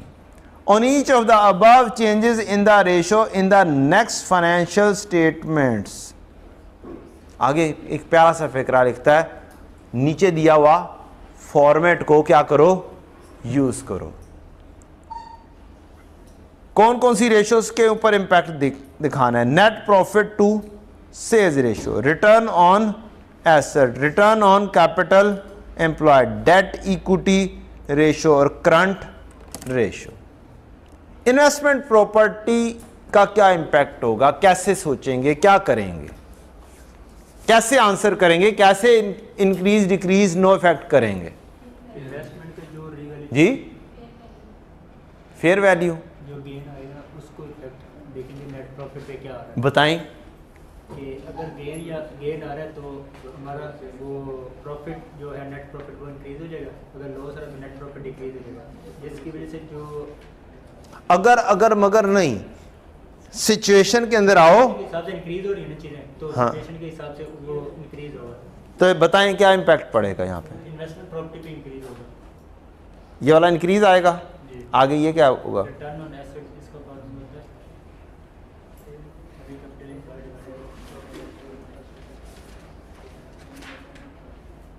नेट सेल्स ऐसे ही बस कहानी खत्म ये हम्म heavy capital long term plus equity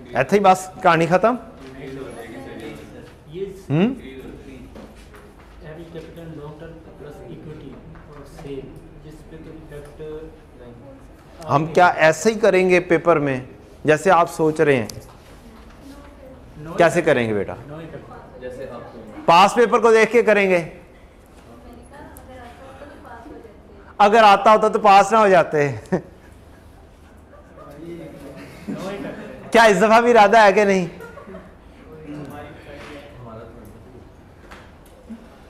इस पे कोई इफ़ेक्ट नहीं है।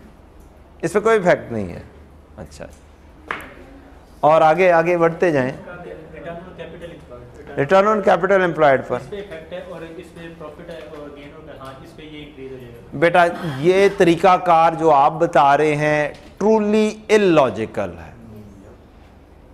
ये तो जैसे कहते हैं ना आपको समझाना है इतनी देर जो समझाया उसके बावजूद आपने अन्यवा काम किया। क्या किया है? अन्यवा काम किया।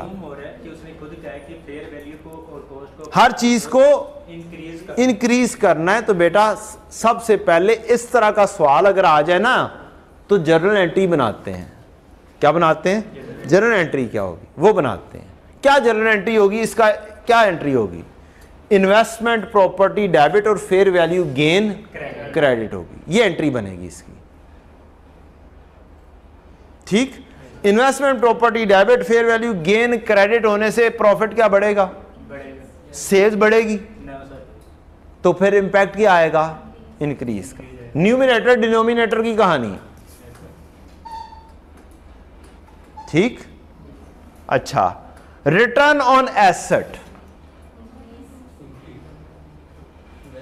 कैसे? इन्वेस्टमेंट प्रॉपर्टी भी बड़ी है। क्या बड़ी है? इन्वेस्टमेंट प्रॉपर्टी भी बड़ी है एसेट भी बड़े हैं गेन भी बढ़ा है। अब सोचें जरा थोड़ा सा सोचें आगे।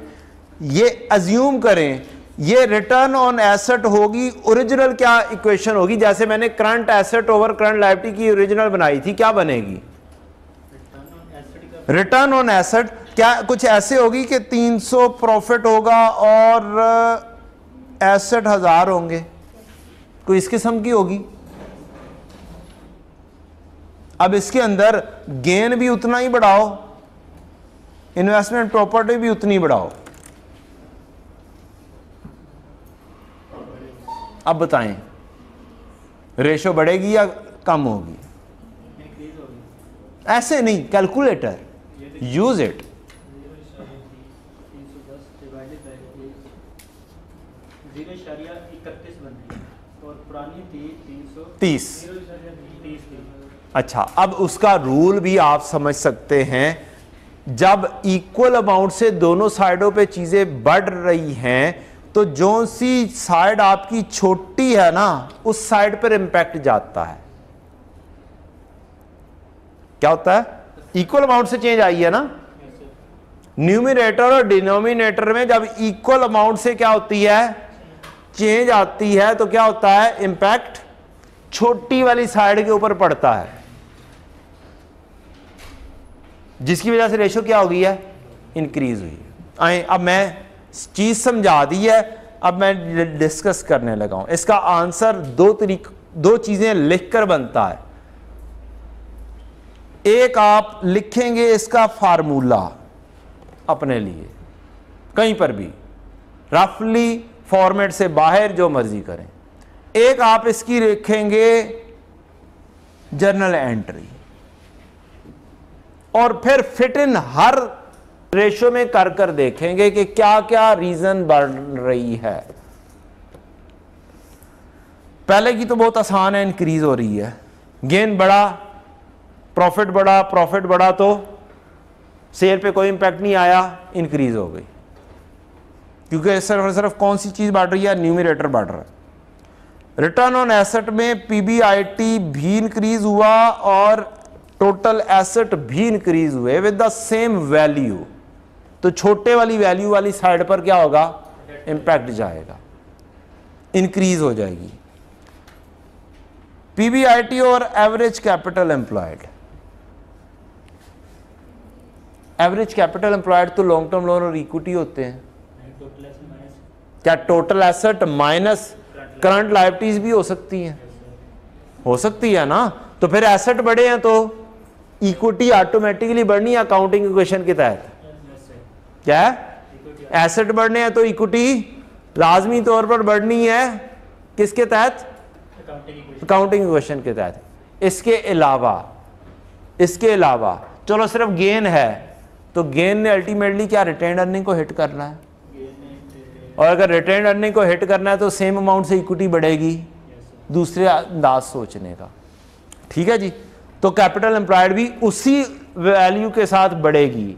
जिस वैल्यू से पीबीआईटी बढ़ेगी, उसी वैल्यू से कैपिटल एम्प्लॉयड भी बढ़ेगा। तो सेम वही वाली रीजन जो पहले दो नंबर में थी कि छोटी वाली साइड के ऊपर इंपैक्ट आना है। दोनों साइडों पर इक्वल इंपैक्ट गया है। Next debt equity ratio debt तो चेंज नहीं होगा, लेकिन इक्विटी चेंज होगी। कैपिटल एम्प्लॉयड में इक्विटी चेंज होगी ना। गेन बढ़ने से इक्विटी बढ़ेगी। इक्विटी बढ़ेगी तो ये वाली रेशियो क्या होगी? कम होगी। इस तरीके से सोचेंगे, ये वाला क्वेश्चन पूरा हो जाएगा। और अगर सिर्फ़ सिर्फ़ अच्छा इससे क्या होगा, उससे क्या होगा, करेंगे तो फिर एक भी एक तो नहीं कहूँगा, वो चंद एक तो वैसे ही सही हो जाएँगी ना।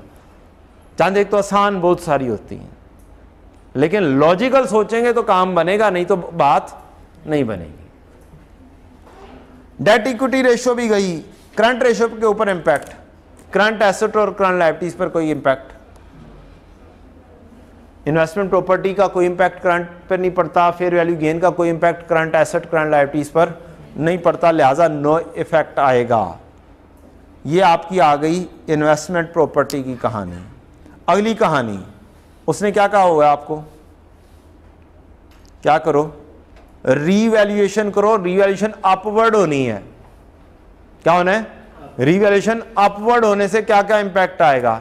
एक asset debit revaluation surplus credit एक एंट्री दूसरी एंट्री डेप्रीसिएशन डेबिट और एसेट क्रेडिट उसकी वजह से एक इंपैक्ट वो कि एसेट बढ़ने का इंपैक्ट और तीसरा इंपैक्ट रिवैल्यूएशन सरप्लस डेबिट और रिटेन अर्निंग क्रेडिट तो तीन एंट्रीज बनती हैं, तीनों एंट्रीज को इकट्ठा रख के सोचना पड़ेगा।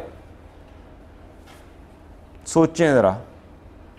एज्यूम करते हैं पीपीई डेबिट और रिवैल्यूएशन सरप्लस क्रेडिट पचास रुपए बढ़ गया लाइफ रिमेनिंग पाँच साल अगर तस्वुर की जाए तो जितना इम्पैक्ट बढ़ा, उतने से डेप्रीसिएशन बढ़ेगी। पाँच साल के ऊपर डिवाइड कर दें तो।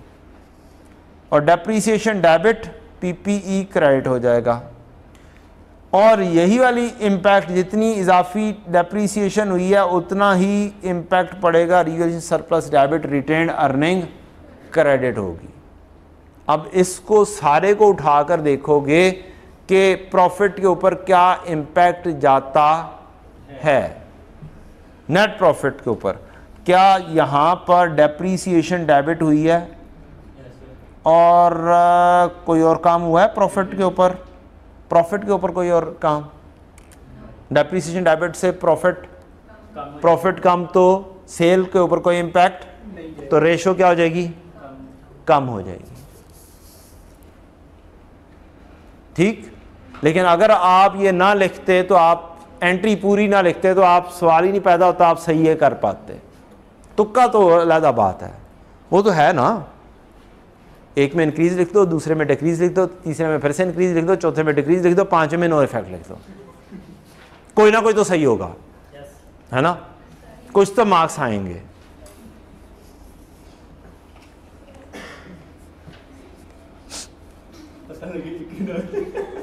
पता चले, सारे आ गए ने तो पता चले एक भी नहीं आया।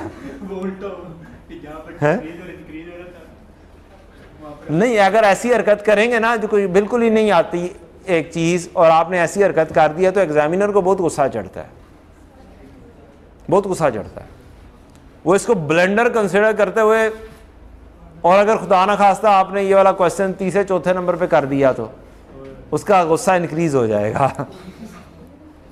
लेकिन तो बात है वो जैसे कहते हैं ना इस चीज़ से मुबर्रा होते हैं। गुस्सा नहीं आता उन्हें। दे आर रोबोट एक क्वेश्चन जैसा है वो हो गया। अगले क्वेश्चन के ऊपर इम्पैक्ट उम्मीद है नहीं आता होगा। एक ही बंदा चेक करता हाँ जी इंशाल्लाह एक ही बंदा चेक करेगा। हो नहीं सकता।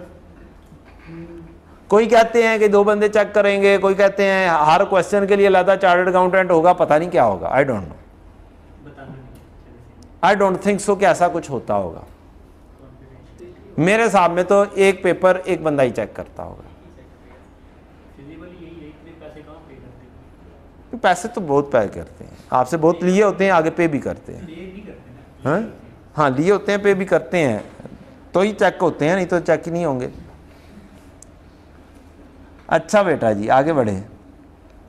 तो ये आपकी रेशियो डिक्रीज होने की रीज़न आ गई। नेक्स्ट रिटर्न ऑन एसेट बताएँ जी रिटर्न ऑन एसेट पीबीआईटी हर जगह पे क्या आना है? पीबीआईटी आना है। मैंने बताया था आपको। सिर्फ़ और सिर्फ़ एक जगह पे पीबीआईटी नहीं आता वो है रिटर्न ऑन इक्विटी जिसके अंदर profit after tax minus preference dividend आना है। बाकी सब जगहों पे पीबीआईटी आना है। बी कॉन्फिडेंट जहाँ पे रिटर्न आएगा क्या आना है? पीबीआईटी आना है। कोई और चीज़ नहीं आनी एनालिसिस कर लेना घर बैठ के। पीबीआईटी आना है। पीबीआईटी को ऑपरेटिंग प्रॉफिट भी बोल देते हैं। अच्छा जी, क्या डेप्रीसिएशन डेबिट होने से प्रॉफिट कम होगा? कोई और तो चीज़ नहीं है। अब एसेट्स के ऊपर देखो एसेट के ऊपर इम्पैक्ट क्या आया टोटल एसेट पर 50 से ऐड हुए 10 से कम हुए तो इसका मतलब है 40 से बढ़े। प्रॉफिट 10 से बढ़ा है एसेट 40 से बढ़े हैं। 40 से बढ़े हैं एसेट 40 से बढ़ा है। मजीद बढ़ गया। प्रॉफिट पचास से कम कैसे प्रॉफिट 50 से किधर से कम हुआ 10 से कम हुआ बेटा। डेप्रीसिएशन है एक 10 दस 10 से कम हुआ। तो इसका इम्पैक्ट क्या आएगा फिर? दस से कम हो रहा है दस से कम हो रहा है और एसेट चालीस से बढ़ रहे हैं। अब इक्वल नहीं है। अब इक्वल नहीं है। अब आप सोच लें, पहले इक्वेशन में 300 सौ तकसीम हज़ार लिख लें, इसमें 10 ऐड कर दें, इसमें 40 ऐड कर दें, सोच लें क्या हुआ? तो लेनी पड़ेगी ना बेटा। क्या, कितनी की लंबी चौड़ी एजम्पन ले रहे हैं? कैलकुलेटर पे ये सारी एजम्पन हो जाती हैं बेटा। क्या हो गया? मैं लिख रहा हूँ ना आपके सामने आपको तो कैलकुलेटर के ऊपर ये लिख सकते हैं मैं कह रहा हूँ फिर तो मैं पूरी बैलेंस शीट पर assume करके रखनी पड़ेगी क्योंकि और नहीं बेटा जी, पूरी अज्यूम करके क्यों रखनी पड़ेगी? ऐसे फ्रैक्शन लगाओगे तुम पी बी आई टी एक अज्यूम करोगे, एक एसेट से अज्यूम करोगे। Normally P B I T कम होगा एसेट ज़्यादा होंगे। यही अज्यूम किया जा सकता है। टॉप पे आओगे, यहाँ पे जमा चालीस कर दो। यहाँ पे जमा दस कर दो। नहीं, कम दस दस कम करने हैं। प्रॉफिट कम हो रहा है। डबल इम्पैक्ट जा रहा है बेटा जी। कम हो गई है। एसेट बढ़ रहे हैं। एसेट क्या हो रहे हैं? एक साइड से डिनोमिनेटर क्या हो रहा है? बढ़ रहा है। दूसरी साइड से न्यूमिनेटर कम हो रहा है। डबल इम्पैक्ट जा रहा है बेटा। क्या करते हो? Decrease return on capital employed इसी बेसिस के ऊपर डिक्रीज डेट इक्विटी डेट और इक्विटी में कोई इम्पैक्ट इक्विटी पे इम्पैक्ट हो रहा है। इक्विटी पर रिवल्यूशन सरप्लस की वजह से इम्पैक्ट आ रहा है? रिवल्यूशन सरप्लस बढ़ रहा है। और डेट डेट नहीं बढ़ रहा। इक्विटी बढ़ रही है। तो डेट इक्विटी क्या हो जाएगी? डाउन हो जाएगी। न्यूमिनेटर डिनोमिनेटर डाउन ना? लेकिन तो ज़ीरो कैसे बेटा? रिटेन अर्निंग केड़ी? दस रुपए का फ़र्क है। रिटेन अर्निंग में तो दस जाना है। पुत्र जी ना करो ना इनसे ठीक है सरप्लस चालीस से पचास चालीस से बढ़ रहा है। और डेप्रीसिएशन 10 के साथ आ रही है तो रिटेन अर्निंग तो 10 से कम होगी तो 30 के साथ स्टिल इक्विटी बढ़ेगी। ठीक है जी। इन्वेंट्री की एंट्री क्या होती है? की है? जी। सबसे ज़्यादा मसला जो स्टूडेंट को आया ना जो लॉजिकल चले हैं उन्हें भी ये इसमें मसला आया है। स्टॉक के अंदर। कि स्टॉक की आपकी पॉलिसी क्या थी? कि एक तो पीरियोडिक इन्वेंट्री सिस्टम मेंटेन होना है दूसरा वेटेड एवरेज टू फाइव हो जाना है। और प्राइसेस क्या हो रही हैं? बढ़ रही अब बताएँ, क्या हो- हुआ होगा? एंट्री क्या होगी?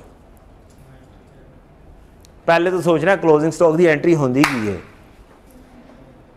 क्या होती है जी क्लोजिंग स्टॉक की एंट्री हमें तो भूली हुई है हमने तो बचपन में पढ़ी थी।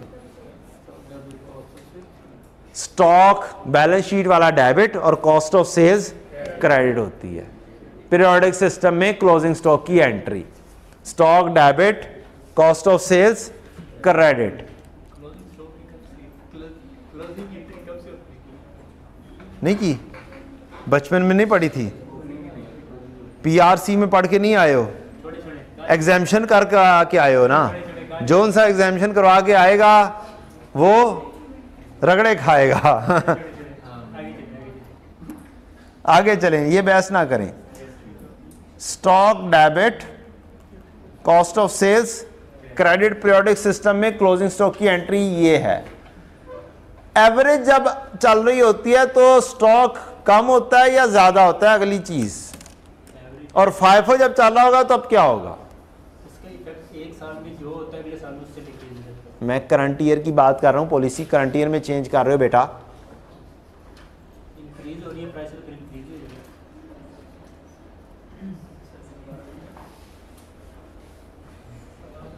हाँ जी। मेरा सवाल ये है, जो उसने पूछा है कि जनाब, हम एवरेज कॉस्ट से एवको मेथड से फाइफो पे शिफ्ट हो रहे हैं तो अब स्टॉक पर क्या इंपैक्ट आएगा? पूरी एंट्री पे क्या इंपैक्ट आएगा? क्लोजिंग स्टॉक की।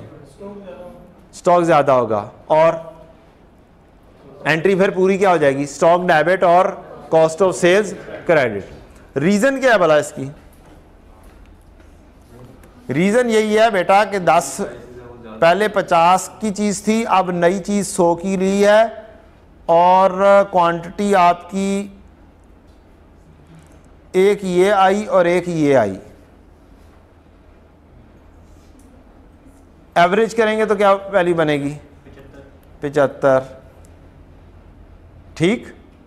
और अगर लिया जाए जस्ट क्लोजिंग स्टॉक एक पड़ा हो। चले, एक भी नहीं रखता, मैं ऐसे कर देता हूँ, तीन लिए हैं।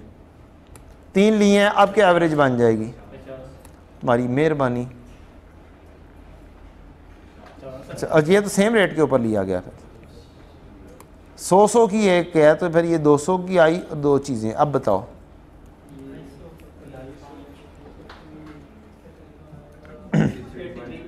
एट्टी थ्री पॉइंट 83.3 थ्री एक रेट आया है और हम अगर एज्यूम करें कि एक यूनिट बिक गया हुआ है, बाकी कितने पड़े होंगे? दो पड़े होंगे। तो दो का क्लोजिंग स्टॉक अगर एवको होगा तो किस रेट पे होगा? 83.3 पर होगा। और अगर फाइव होगा तो फिर किस रेट पे होगा? सौ रुपए के ऊपर आएगा। तो इसका मतलब है मेरा स्टॉक क्या हो जाएगा? बढ़ जाएगा। स्टॉक डेबिट और कॉस्ट ऑफ़ सेल्स क्रेडिट अब ये वाली एंट्री लिखोगे और फिर आप सारी की सारे काम कर दो। कॉस्ट ऑफ़ सेल्स के क्रेडिट होने से क्या होगा? प्रॉफिट बढ़ जाएगा। क्या हो जाएगा? कॉस्ट ऑफ़ सेल्स कम होगी प्रॉफिट बढ़ जाएगा। और प्रॉफिट बढ़ने से? नेट प्रॉफिट बढ़ेगा नेट प्रॉफिट बढ़ेगा तो ये रेशो इंक्रीज हो जाएगी। Return on asset return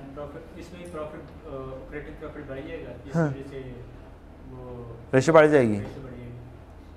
पक्की बात है। एसेट भी बढ़ रहे हैं। तो जो लॉजिक पहले बताई थी ना छोटी साइड के ऊपर इम्पैक्ट पड़ेगा। उसकी बेसिस के ऊपर इंक्रीज आएगी। सेम अमाउंट से चीज़ें बढ़ रही हैं। Return on capital employed return on capital employed cost of sales के क्रेडिट होने से सेम इम्पैक्ट जाएगा और छोटी वाली साइड के ऊपर इम्पैक्ट आएगा। Debt equity ratio debt equity cost of sales के क्रेडिट होने से इक्विटी बढ़ेगी। इक्विटी बढ़ने से रेशो क्या हो जाएगी? कम हो जाएगी। करंट रेशो स्टॉक बढ़ रहा है। करंट एसेट बढ़ रहे हैं। करंट लाइबिलिटीज नहीं बढ़ रही। So this is how you will perform this type of question इस तरह से इस तरह के जी बेटा जी। हाँ।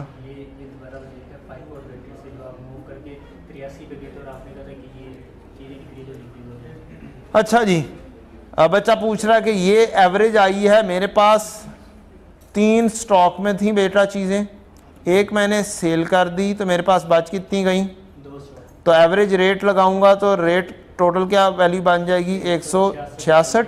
स्टॉक इतने का बन जाएगा। ठीक? और अगर फ़र्स्ट इन फ़र्स्ट आउट होगा तो पहले जो जाएगा वो कितने पे जाएगा? और बाकी जो बच जाएँगे वो कितने में बचेंगे?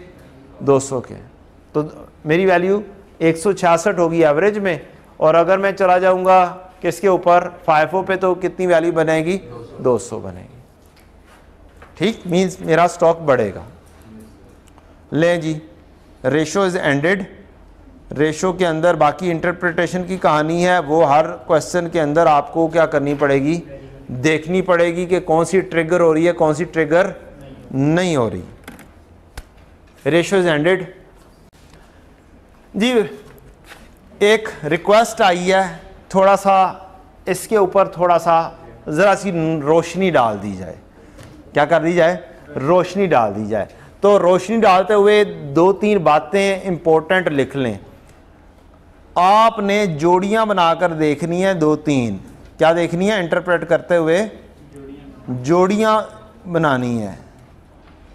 नंबर वन जोड़ी करंट रेशो और क्विक रेशो की जोड़ी। नंबर दो return on capital employed and return on asset या फिर return on capital employed and return on equity इसकी जोड़ी। नंबर थ्री जीपी और एनपी रेशो की जोड़ी। ये तीन जोड़ियाँ बनकर काम करती हैं। क्या करती हैं? तीन जोड़ियाँ बनकर काम करती हैं। करंट रेशो और क्विक रेशो का डिफरेंस लेंगे तो क्या चीज़ पता चलेगी? इन्वेंट्री का कहानी। क्या पता चलेगी? इन्वेंट्री की कहानी। रिटर्न ऑन कैपिटल एम्प्लॉयड और रिटर्न ऑन इक्विटी का डिफरेंस लेंगे तो क्या पता चलेगा? लॉन्ग टर्म लोन की कहानी। डिफरेंस पता चलेगा कि लॉन्ग टर्म लोन की क्या सूरत हाल है जीपी और एनपीओ का डिफरेंस लेंगे तो आपको एक्सपेंसेस का पता चलेगा एक्सपेंसेस कैसे मैनेज हो रहे हैं। ठीक? तो ये तीन जोड़ियाँ हैं, तीन जोड़ियों के साथ काम होता है और चीज़ें एक्सट्रैक्ट होती हैं। अब यहाँ पर इस क्वेश्चन के अंदर आपको क्विक रेशो, करंट रेशो दिया हुआ है। ठीक? आप क्या करेंगे? आप देखेंगे इन दोनों का डिफरेंस क्या है। इंडस्ट्री का डिफरेंस देख के बताएँ क्या आता है। Point seven three point five two zero point two one यहाँ पर इन दोनों का डिफरेंस क्या है? जी? Zero point one seven. यहाँ पर? यहाँ पर? Five four zero point zero point five four. Five four इससे क्या पता चला? इन डिफरेंसेस से। चलें, आपने फाइव फोर बोला है। Zero point four six. इससे क्या पता चला कि आपका स्टॉक पॉइंट वन सेवन था स्टॉक बढ़ रहा है और बढ़ रहा है। स्टॉक क्या हो रहा है? पायलअप हो रहा है। आप बेच नहीं पा रहे। आप बेच नहीं पा रहे। कंपेयर करें तो डिफरेंस क्या है? पॉइंट टू वन का। ये डिफरेंस यहाँ पर तो तकरीबन मैच करता था। आप ऐसा ऐसा स्टॉक बेच नहीं पा रहे। जो डेज़ हैं 82 डेज़ थे पेबल के ये 89 डेज़ से गए 91 पर बढ़े। और अब एकदम से क्या हो गए हैं? कम हो गए हैं। इसका मतलब क्या हुआ? कि आप से क्रेडिटर खुश नहीं, और वो आपको जो पहले दे रहे थे पॉलिसी लीनियंट थे, अब क्या हो रहे हैं? सख्त होते चले जा रहे हैं। क्योंकि हमारा, हमसे चीज़ें बिक नहीं रही एक साइड पर। दूसरी साइड पर पे पेमेंट जल्दी करनी पड़ रही है। क्या करनी पड़ रही है? क्रेडिटर डेज़ है ना? पेमेंट जल्दी करनी पड़ रही है। ये एक ड्यूल इफ़ेक्ट आ रहा है। आपकी लिक्विडिटी पोजीशन खराब हो रही है। क्वेश्चन में रिक्वायरमेंट क्या थी? Critically analyse and discuss whether you agree with the claim और वो कह रहे थे कि आपकी प्रॉफिटेबिलिटी वगैरह बढ़ रही है करंट रेशो बढ़ रही है। करंट रेशो बढ़ रही है ना? तो आपकी लिक्विडिटी पोजीशन बेहतर हो रही है। हालाँकि लिक्विडिटी पोजीशन क्या हो रही है? खराब हो रही है, आप बेच नहीं पा रहे। आपकी प्रॉफिट मार्जिन तो शायद कुछ बेहतर हो रहे हैं। प्रॉफिटेबिलिटी कुछ बेहतर हो रही है। हो सकता है आपने प्राइस डेलिबिलिटी थोड़ी बहुत ज़्यादा प्राइसेस की हो, या कुछ और होगा। क्यों? ये सिर्फ़ और सिर्फ़ बढ़ने से आपकी लिक्विडिटी पोजीशन की तरफ़ नहीं आती। लिक्विडिटी पोजीशन कौन सी होती है? करंट एसेट और करंट लाइबिलिटीज के साथ। लिक्विडिटी रेशियोज तो वो यहाँ पर पता चल रहा है कि जनाब आपका पुरसाने हाल कोई नहीं है। तो इस तरीके से आप क्या करेंगे? कंपेयर करेंगे। ठीक है जी? और ये डेयरी फूड्स की थी और नहीं ये अगला उसका अगला हिस्सा है। तो ये उसका आंसर ये बन जाएगा बेटा।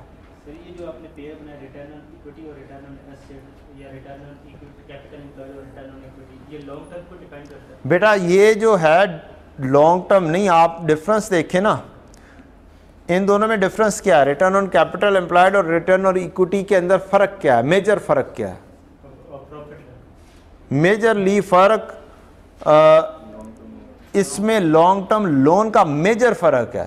प्लस कुछ थोड़ा बहुत फ़र्क आ जाएगा टैक्सेस वगैरह का। ठीक? लेकिन इन दोनों में क्या फ़र्क है? इन दोनों में क्या फ़र्क है वो एक में इक्विटी है इन दोनों में लॉन्ग टर्म लोन और करंट लाइबिलिटी का फ़र्क है। मींस ओनली लाइबिलिटीज का फ़र्क है। दोनों में। जब आप जोड़ी बनाकर देखेंगे तो आपको पता चलेगा आपकी लाइबिलिटीज बढ़ रही हैं, कम हो रही हैं, कैसा मैनेज कर रहे हैं, कैसा मैनेज नहीं कर रहे। दोनों को इकट्ठा जब जोड़ी में रख के देखेंगे कंपेयर करेंगे तो और उसमें हम प्रॉफिट ऑपरेटिंग एक्सपेंस को देखेंगे प्रॉफिट में जीपी और नेट ठीक है जी?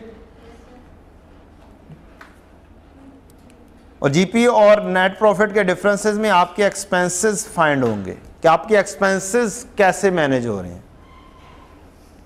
और इन दोनों में आपकी इन्वेंट्री का इफ़ेक्ट पता चलेगा। अभी मैंने इन्वेंट्री का इफ़ेक्ट तो आपको दिखा भी दी है कि किस तरीके से फ़र्क नज़र आता है। ठीक तो जोड़ियाँ बनाकर आपको एनालाइज करना पड़ता है। रेशोस के अंदर। अब ये वाला क्वेश्चन भी उसी जैसा ही है। पिछले साल से कंपेयर करना है इंडस्ट्री से भी कंपेयर करना है। जीपी सेम जा रहा है। नेट प्रॉफिट यहाँ पे डिफरेंसेस देखें यहाँ पे डिफरेंस देखें। यहाँ पे कितना डिफरेंस है? सात छः तेरह। यहाँ पे कितने का है? पाँच का। इट, इट इसका मतलब क्या हुआ? हमने अच्छा मैनेज किया एक्सपेंसेस के ऊपर। कम हुआ है। क्या हुआ है? डिफरेंस कम हुआ है मीन्स आपने एक्सपेंसेस को अच्छा मैनेज किया है।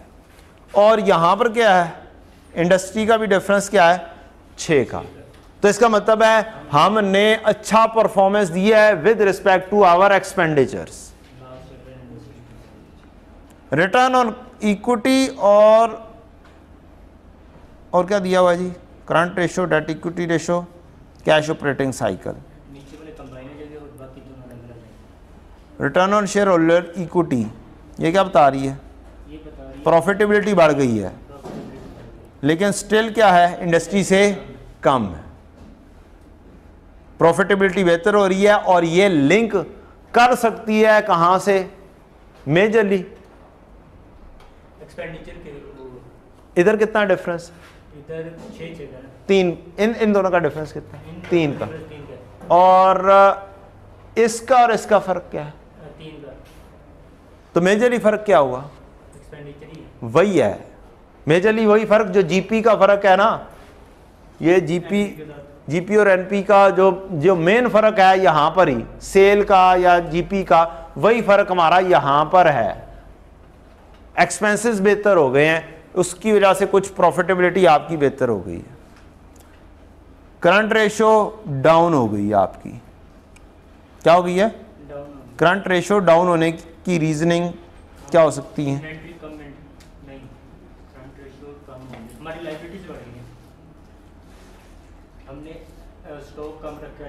कोई दूसरे भी देख लेना यार रेशोज़ के साथ कोई दूसरी रेशोज़ भी देख लें। ये रेशोज़ हैं। ये क्या जी? डेट इक्विटी रेशो ये क्या बता रहा है? हमने डेट ज़्यादा लिया हुआ है कम लिया हुआ है? इंडस्ट्री से कंपेयर इंडस्ट्री से कंपेयर करने के हिसाब से हमारा डेट कम है। इक्विटी के मुकाबले में। अब क्या हो गया है? डेट मज़ीद बढ़ गया है। क्या हो रहा है? डेट मेरा बढ़ रहा है। डेट बढ़ने की वजह से हो सकता है है। लाइबिलिटीज बढ़ रही हैं। डेट इक्विटी इक्विटी कम हो रही है। डेट्स बढ़ रहे हैं। डेट्स बढ़ने से इंटरेस्ट बढ़ सकता है। इंटरेस्ट बढ़ने से प्रॉफिटेबिलिटी का फ़र्क थोड़ा बहुत रह सकता है। कैश ऑपरेटिंग साइकिल्स हैं। बस ये थोड़ा थोड़ा सा कंपैरिजन में करके लिख देंगे। वही रीजनिंग लिख देंगे कि क्या है? For each ratio give possible reason कह रहा पॉसिबल रीज़न में तो वो सारी रीज़न आपने देख ली हैं। आपने एक रीज़न बनानी है पिछले साल से बेहतरी या कम होने की। पिछले साल से कम हो रही है। क्या हो रही है? तो कम होने की रीज़न ये कम है इससे। इससे कंपैरिजन में भी हम कम है। तो कम होने की करंट रेशो की पॉसिबल रीजंस लिखनी है। कोई एग्जैक्ट नहीं लिखनी। एग्जैक्ट सिचुएशन नहीं है। वो जो हमने सारी पॉसिबल रीजन डिस्कस की है, वो लिखनी है यहाँ पे। नीचे जाके देखेंगे तो वही वाली रीजनिंग यहाँ पे फिट इन हुई होंगी, जो मैंने आपके साथ डिस्कस की हैं। ये देख लो। ये लिखी हुई है। The company might be obtained running finance facility to fund its operation in the current year long term loan payment might have become due in the next 12 months, which decreases the current ratio. तो को क्या? है वैसी reasoning यहाँ पर भी लिखी हुई है। ये अब थोड़ी थोड़ी सी आप इनमें से भी निकाल सकते हैं। कोई मैंने नहीं लिखी हुई तो आप इनमें से निकाल के लिख लें। Answer are the best best source लेकिन समझ के। चलें जी। रेशोस की कहानी साइड पे करते हैं और कोई और कहानी शुरू करते हैं।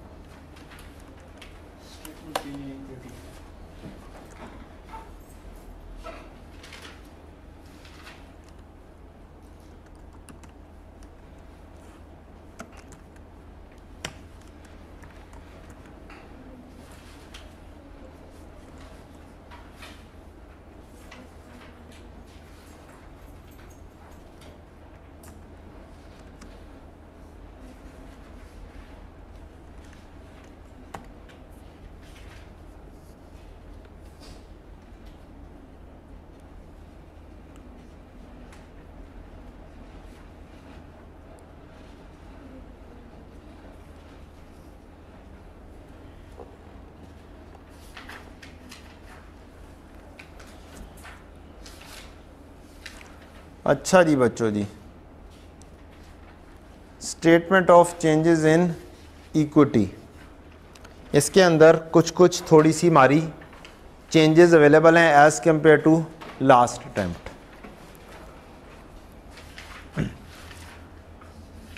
लें जी। हम अगर पार के ऊपर शेयर्स इशू करते हैं तो क्या एंट्री होती है जी? Bank debit share capital credit सबको आती है।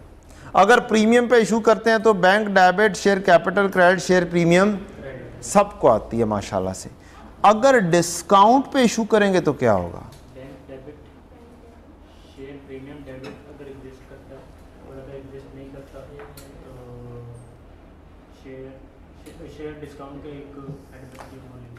हमने दस वाली चीज़ ली दस रुपए में पार के ऊपर इशू हुए। दस वाली चीज़ हमने तेईस के ऊपर ली। दस वाली चीज़ तेईस के ऊपर ली तो आपको क्या मिला? Share premium. इसको किस तरीके से लिखा जा सकता है? वापस आता हूँ शेयर प्रीमियम पे। इसको दो अंदाज से लिखा जा सकता है। Issue of share at a premium of rupees thirteen rupees thirteen. एक तो ये वाले अल्फाज हो सकते हैं। एक अल्फाज हो सकते हैं issue of share at rupees twenty three हम लोग बस अक्सर अवकात क्या करते हैं? दस वाली चीज़ तेरह में नज़र आएगी तो तीन रुपये प्रीमियम देखते हैं। और यहाँ पर भी तेरह नज़र आ रहा है तो स्टूडेंट क्या करते हैं? तीन प्रीमियम और दस। हालाँकि क्या लिखा हुआ है? एट आ प्रीमियम ऑफ़ तेरह मीन्स दस वाली चीज़ जमा तेरह ऐड करके तेईस के ऊपर जा रही है। फिर आएगी जी चीज़ issue of shares at discount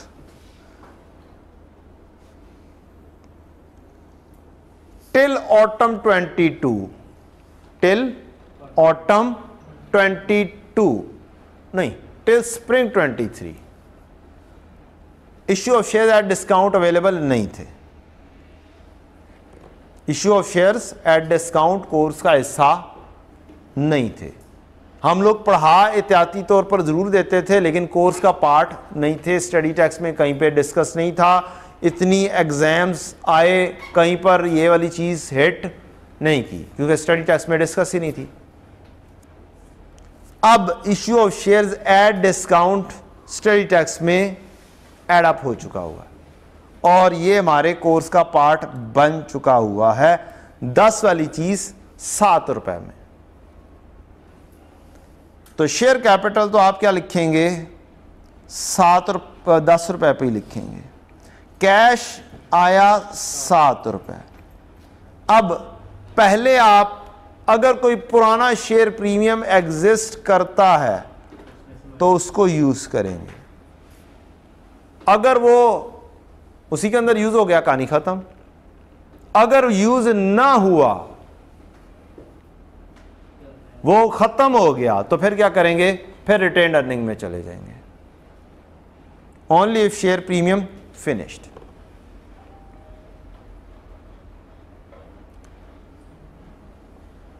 share issue cost share issue cost हमारी पुरानी बुक टेल स्प्रिंग तेईस में मौजूद था, लेकिन छुपा के कहीं पर लिखा हुआ मौजूद था।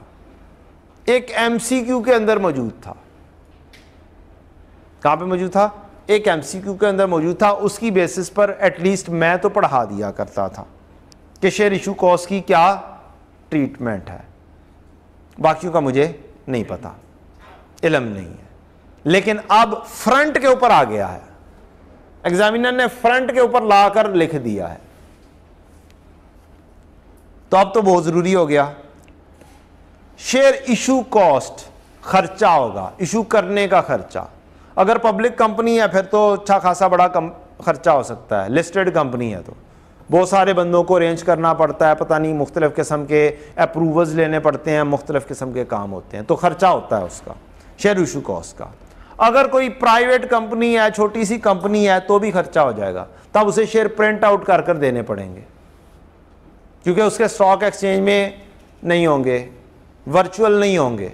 प्रिंट दे देने पड़ेंगे। तो प्रिंटिंग वगैरह का खर्चा कोई ना कोई आ सकता है। तो somehow share issue cost है कैश ने आउट होना है। इसका रूल भी यही है कि ये खर्चा है एक्सपेंस ले जाऊँ हैं? एक्सपेंस में लिख दूँ? क्यों जी? एक्सपेंस डेबिट कैश क्रेडिट कर दूँ ना? साथ तो सेम रूल है कि अगर शेयर प्रीमियम एग्जिस्ट करता है तो उसको यूज़ करें, अगर नहीं करता तो रिटेन अर्निंग को यूज़ कर लें। शेयर इशू कॉस्ट का भी सेम रूल है। एग्जामिनर हमारा अपनी बुक में लिखता है कि transaction cost and discounts on share issue are never directly charge to profit and loss Usually the share premium account is debited and the retained earning are debited only if there is no balance or not enough balance in the share premium account. Examiner ने इस तरीके से लिख कर दिया है और हमने उसकी बना ली है जर्नल एंट्रीज आगे बढ़ते हैं नेक्स्ट आता है जी डिविडेंड की कहानी डिविडेंड कितने किस्म के? बोनस एक बोनस और एक कैश बोनस इशू की एंट्री क्या होती है बेटा जी? शेयर कैपिटल क्रेडिट होता है और शेयर कैपिटल क्रेडिट होता है। वेल डन और आगे? बोनस बोनस इशू हाँ भाई। और वेल डन हाँ जी। हाँ आप बता दो। क्या? नहीं, ये क्या बात हुई? वहाँ पे किसी ने आके तो नहीं बताना पेपर में?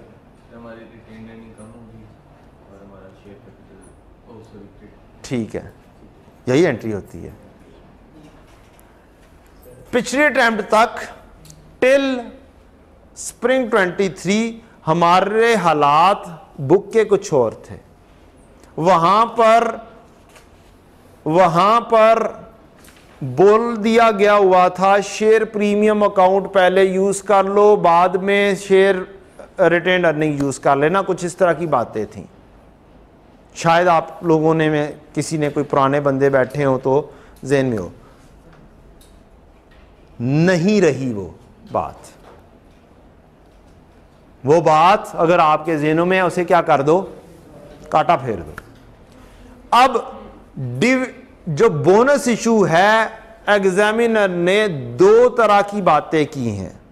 बोनस इशू एज डिविडेंड और bonus issue not as dividend क्या अल्फाज यूज़ किया उसने? बोनस इशू एज डिविडेंड और bonus issue not as dividend as dividend की तो हमें सबको समझ लगती है। समझ लगती है ना कि डिविडेंड दिया जा रहा है तो डिविडेंड कमाए हुए प्रॉफिट में से दिया जाएगा ना। कमाया हुआ प्रॉफिट कहाँ पे पड़ा होगा? रिटेन अर्निंग तो ये है लॉजिक उसकी कि रिटेन अर्निंग डेबिट और शेयर कैपिटल क्रेडिट पहले तो बात करते हैं, इसको साइड लाइन कर दे। रिटेन अर्निंग डेबिट और डिविडेंड पेएबल क्रेडिट ये एंट्री होती है। जब बोनस इशू आपका, नहीं, ये तो कैश डिविडेंड है सॉरी चलो कैश डिविडेंड को तो वैसे ही साइड करो ना. तुसी तो पे हो जाओ.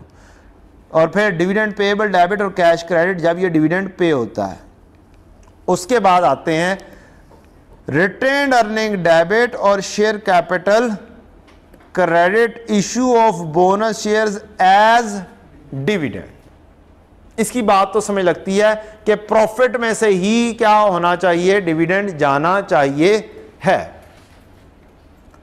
अगली चीज़ आती है नॉट एज डिविडेंड की कहानी। Bonus issue not as dividend कैसे हो सकता है? क्या ऐसा पॉसिबल है कि किसी बैंकिंग कंपनी के साथ कोई लोन वगैरह की साइनिंग होनी हो? और वो कहे कि, जनाब, आपका share capital minimum thousand million का होगा तो हम लोन देंगे। ठीक? और हमारा पड़ा हुआ है 900 मिलियन हम कहेंगे, यार इक्विटी में तो है ना हज़ार मिलियन से ऊपर. कहते हैं, नहीं, हमें शेयर कैपिटल चाहिए हज़ार. क्या चाहिए? शेयर कैपिटल चाहिए हज़ार। अब क्या नए शेयर इशू किए जाएँ? नहीं। क्या डिविडेंड दे दिया जाए? डिविडेंड तो अभी दे के हटे हैं। तो फिर क्या करें? हम कहेंगे, हम बस बोनस इशू कर देते हैं। क्या करते हैं? बोनस इशू कर देते हैं, लेकिन इसको डिविडेंड कंसीडर नहीं करेंगे। नॉट एज डिविडेंड क्वेश्चन में कुछ डिविडेंड का लिंकिंग नहीं होगी तो ये क्या होगा? Not as dividend bonus issue दिया हो, लेकिन लिंकिंग कोई डिविडेंड से ना हो तो क्या होगा ये? नॉट एज डिविडेंड इसमें सेम रूल अप्लाई करेंगे शेयर प्रीमियम फ़र्स्ट लेकर आएँगे। रिटेन अर्निंग को तब यूज़ करेंगे जब शेयर प्रीमियम नहीं होगा, और शेयर कैपिटल क्रेडिट करेंगे। This is the change this is the change कुछ लोगों को पता है कुछ लोगों को नहीं पता। हमने तो क्लास में यही पढ़ी है ना। क्यों जी? हमने तो यही ऐसे दो हिस्सों में करके पढ़ी है। Issue of bonus share not as dividend examiner लिखता है नोट दे के in case of bonus issue is made as dividend retain earning are debited However, for the bonus issue other than as dividend, it is common to utilize the balance of share premium account first. Examiner ने ये note दिया है मैंने उसकी क्या बना दी हुई हैं एंट्रीज बना दी हुई हैं ठीक हो गया तो ये दो हिस्से हैं डिविडेंड के रिटेन अर्निंग और बाकी एंट्रीज तो मेरी वही हैं। जनरल रिज़र्व में ट्रांसफ़र करना retain earning debit general reserve credit share real surplus debit और retain earning credit incremental depreciation की और revaluation surplus debit retain earning disposal on revalued asset अगर आ जाए तो। डन हो गया जी?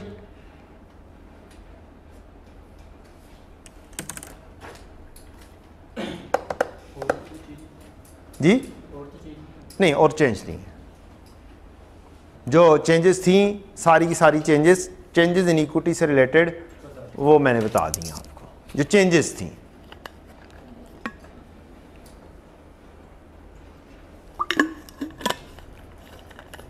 बाकी चेंजेस आई एस सिक्सटीन में थोड़ी सी है आई एस ट्वेंटी में आई एस थर्टी सिक्स में है। वो जब आएँगी कहानियाँ, तब देखेंगे इनशाला ठीक है जी? उसके ऊपर मैं अलहदा से सेशन जनरली कर चुका हूँ। That is available on Facebook sorry not Facebook that is available on YouTube available on YouTube दो सेशन कर चुका हूँ, एक लाइव सेशन कर चुका हूँ ऑनलाइन और एक यहाँ पर सेशन हो चुका हुआ है। अच्छा जी। राइट इशू की कहानी। राइट इशू करते हैं, आगे क्वेश्चन से ही देखते हैं। ये चेंजेस इन इक्विटी का फॉर्मेट है, इसमें राइट इशू हुआ हुआ या नहीं हुआ हुआ? हुआ हुआ जी। आए जी क्वेश्चन करते हैं। एक छोटा सा क्वेश्चन है। नन्ना मुन्ना सा रिक्वायरमेंट है prepare statement of changes in equity for the year ended 30 June 23 along with the comparative total column is not required बेटा सबसे पहले अपना ईयर डिफाइन कर लिया करें। क्या कर लिया करें? एक ज़माने में मुझे एक स्टूडेंट मिला, मेरा नहीं था। मिला, आके कहता है, मैं फेल हो गया हूँ। उनकी किता जा सकता है? इसलिए मैंने एक सवाल किया और वो सवाल था, मैंने इकतीस दिसंबर के हिसाब से कर दिया। और एंड पर देखा कि ये तीस जून है। क्या है? तीस जून है। और सवाल भी पंद्रह नंबर का होगा। माइट भी वो उस वक्त पैनिक हो गया हो। क्या हो गया हो? पैनिक हो गया और कहानी? तो लिहाजा हमेशा क्या कर लिया करें? ईयर डिफाइन लाजमी तौर पर कर लिया करें। एक चीज़, खुदा न खास्ता अगर कोई ऐसी अनहोनी हो जाती है, सारा सवाल कर दिया है और गलत कर दिया है, अब क्या उसको सारे को काटा मार दें? मारा जा सकता कि नहीं? मारा जा सकता। मारा तो जा सकता है, लेकिन ना मारें। काइंडली ना मारें। नीचे एक नोट लिख दें काइंडली कि मुझसे गलती से क्या हो गया? ईयर गलत डिफाइन हो गया। मैंने सारा सवाल इकतीस दिसंबर की बेसिस पे कर दिया। अगर उसका दिल करेगा, कोई मार्क्स देने को दे देगा। अगर नहीं दिल करेगा तो उसके इमा पे है। लेकिन कम अज़ कम अपना काम कर दें। लेकिन उससे पहले अपना दिमाग सही तरीके से फोकस करके क्वेश्चन पढ़ कर करें कि ईयर कौन सा है। सबसे पहली तो इंपॉर्टेंट बात ये है। अच्छा जी डिविडेंड आते कौन कौन से हैं? कब कब कहाँ कहाँ पर आने चाहिए? कहाँ कहाँ पर आने चाहिए? कौन कौन से पिछले साल का तो इस साल आएगा और इंटरम है तो इसी साल का आएगा और अगर कैश है तो रिटेन एंडिंग से निकल जाएगा और अगर बोनस है तो रिटेन एंडिंग के साथ वो शेयर कैपिटल में उसकी एडजस्टमेंट हो जाएगी और अगर एग्जिस्टिंग है शेयर प्रीमियम तो उसके साथ ਮੈਂ ਤਾਂ ਸਿਰਫ ਇਹਨਾਂ ਪੁੱਛਿਆ ਸੀ डिविडेंड आएगा तो कितने कितने आएगा ਤੁਸੀਂ ਤੇ पूरी कहानी सुनानी शुरू करती है डिविडेंड बेटा बस इस तरीके से आएगा आपका फाइनल डिविडेंड यहाँ पर कौन सा आएगा ट्वेंटी का यहाँ पे क्या आएगा इंटरम डिविडेंड इक्कीस का यहाँ पे क्या आएगा फाइनल डिविडेंड इक्कीस का यहाँ पर क्या आएगा इंटरम डिविडेंड बाईस का तेईस का उल्टा तो नहीं लिख दिया उल्टा लिखा गया यार। इक्कीस का, बाईस का बाईस का, तेईस का, और यहाँ पर हमारे कोर्स से बाहर होगा इंटरम डिविडेंड 21 और फाइनल डिविडेंड 23 ये दोनों बाहर होंगे, हमारे एरिए से बाहर होंगे और हमें ये सारे दिए जाते हैं। तो सबसे पहले क्या कर लिया करें इंटरम डिविडेंड 21 क्या हो जाना चाहिए? Interim dividend 21 yes interim dividend 21 out कर देना चाहिए, काट देना चाहिए। इंटरम डिविडेंड 21 काट देना चाहिए। फाइनल डिविडेंड 23 फाइनल डिविडेंड 23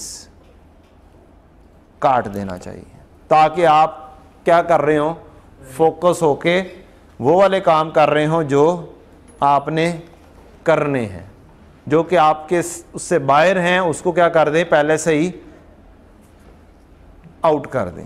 यही सेम काम आप फॉर्मेट बना के भी कर सकते हैं, जो मैंने अभी किया है। आप फॉर्मेट बनाएँगे, सबसे पहले लिखेंगे पेज की आखिरी लाइन में बैलेंस इकतीस दिसंबर तेईस। हाफ़ पेज के ऊपर लिखेंगे बैलेंस इकत सॉरी इकतीस दिसंबर है? या तीस जून है? तीस जून है और ऊपर कहानी दिसंबर के हिसाब से हुई हुई है। ये तीस जून नहीं है जी, ये इकतीस दिसंबर है। चले, बहरहाल फिर भी सही है। हमारे डिफाइनिंग सही हुई है फिर भी। वो टाइपिंग एरर है कोई। इकतीस दिसंबर तेईस, इकतीस दिसंबर बाईस, इकतीस दिसंबर इक्कीस। आप कहेंगे इकतीस दिसंबर तेईस, इकतीस दिसंबर बाईस और इकतीस दिसंबर इक्कीस पेज के बिल्कुल स्टार्ट पर, पहले नंबर पर।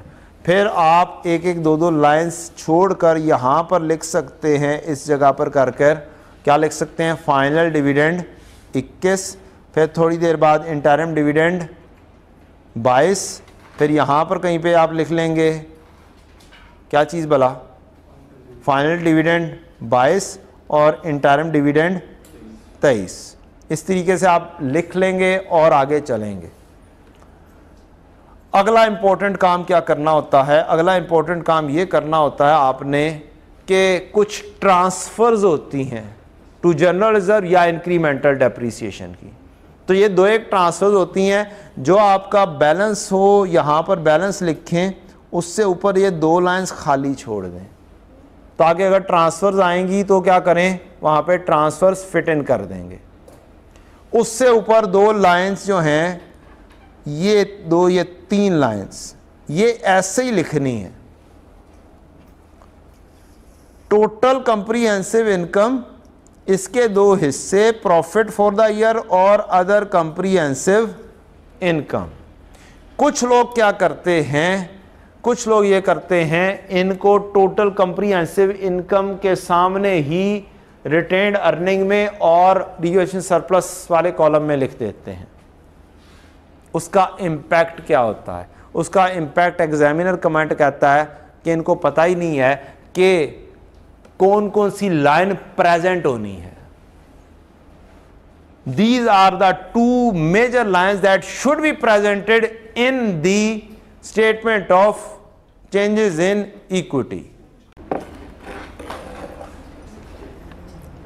हो गया जी? चलें जी। अब मैंने आपको एग्जामिनेशन पॉइंट ऑफ़ व्यू से ये चीज़ें थोड़ी सी गाइडेंस दे दी है कि कहाँ कहाँ पर क्या क्या चीज़ लिखनी है। एक इंपॉर्टेंट चीज़ जो बहुत सारे लोग नहीं कर रहे, उसके भी बता दिया है कि टोटल कंप्रीहेंसिव इनकम के सामने ही जाकर प्रॉफिट और रेगुलेशन सरपस नहीं लिखना, उसकी रिक्वायरमेंट है कि इसको अलहदा बयान किया जाए। ये statement of changes in equity की एक रिक्वायरमेंट है। ठीक है जी? इसको थोड़ा सा आप, अगर अपने लिए आसानियाँ पैदा करें तो देख भी सकते हैं आई ए एस वन के अंदर। आई ए एस वन में बी पार्ट के अंदर होप्सो में ये चीज़ मिल जाएगी। इंटरनेशनल अकाउंटिंग स्टैंडर्ड वन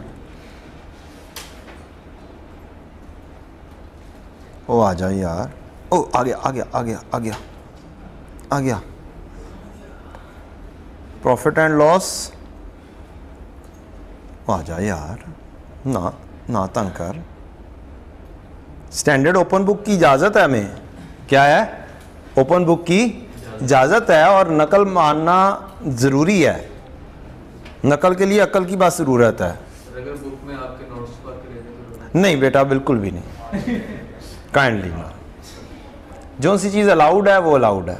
आपको नकल लगाना स्टैंडर्ड से मैं सिखा सकता हूँ कि बेटा यहाँ पर ये ये चीज़ लिखी हुई है। है मेरी बुक भी मौजूद है। फॉर्मेट्स भी मौजूद हैं ये।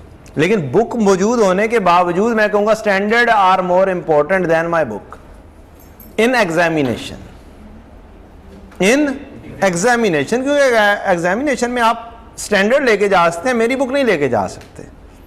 मेरी बुक में आपको पास पेपर मिलेंगे प्रैक्टिस मिलेगी, सारा कुछ मिलेगा। लेकिन पेपर में क्या चीज़ हेल्पफुल है? वो स्टैंडर्ड्स हैं। थोड़ी देर तक, अभी हम ये तो ऐसी बात होगी ना। Statement of profit and loss निकल आया तो आ गया नहीं तो जाने देंगे। यहाँ कहीं पर क्योंकि बहुत अरसे बाद ये खुला लगता है। वैसे भी नेट का मसला है यहाँ पे अगर नेट ऑन होगा तो ये चीज़ ओपन होगी नहीं तो नहीं होगी। फ्रेश चीज़ आप जो मर्ज़ी कर लें वो हो जाएगा लेकिन पुरानी चीज़ ओपन करने के लिए इंटरनेट ज़रूरी है बुक है एक स्पेसिफिक बस वो रूम का स्पेसिफिक यहाँ पर नहीं लगा हुआ ना। तो वो लगवा लेते हैं।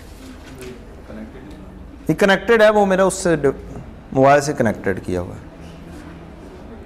वो उतनी अच्छी एफिशिएंटली नहीं दे रहा। बहरहाल एग्जामिनर कमेंट्स भी यही कहते हैं कि स्टूडेंट्स क्या करते हैं, सामने लिखते हैं, इनको अलहदा से प्रेजेंट करना होता है।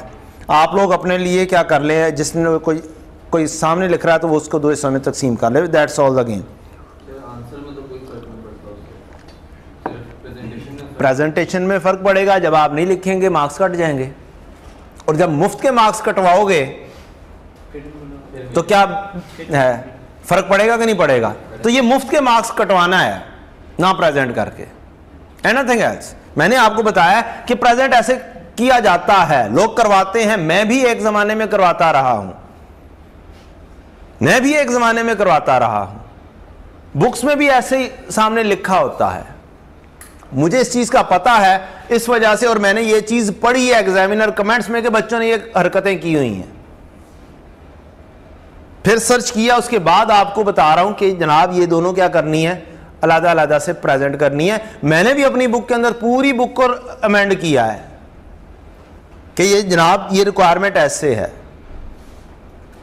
ठीक है? तो ये रिक्वायरमेंट ऐसे है, आपने ऑप्ट करनी है, करें, नहीं करनी, ना करें it's your choice it's your choice but there is a requirement आगे बढ़े।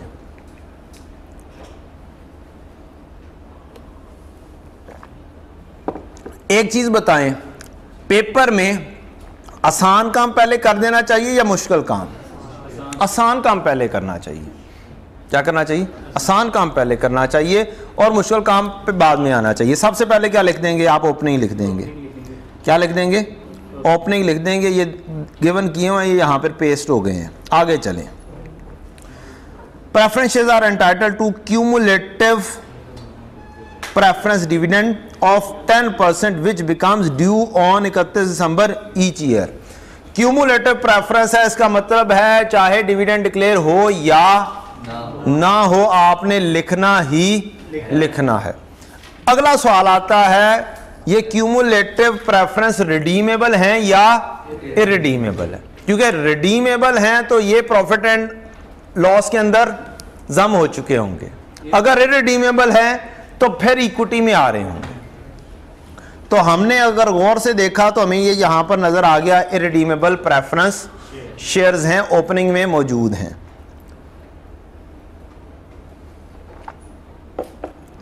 The detail share issue for the cash consideration are as follows cash consideration a right issue of 20 percent at rupees अट्ठारह पर share on तीस ने बाईस.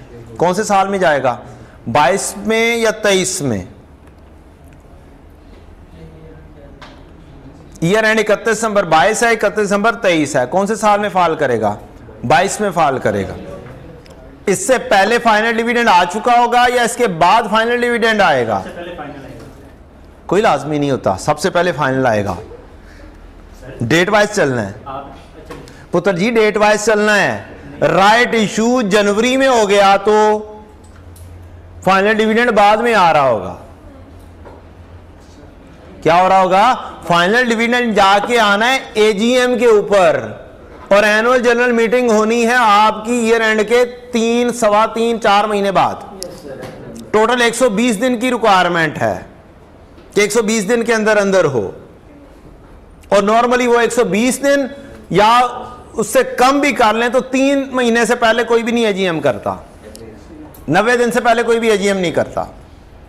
It means जनवरी फरवरी मार्च में अगर right issue हो गया तो वो पहले आ जाएगा बेटा।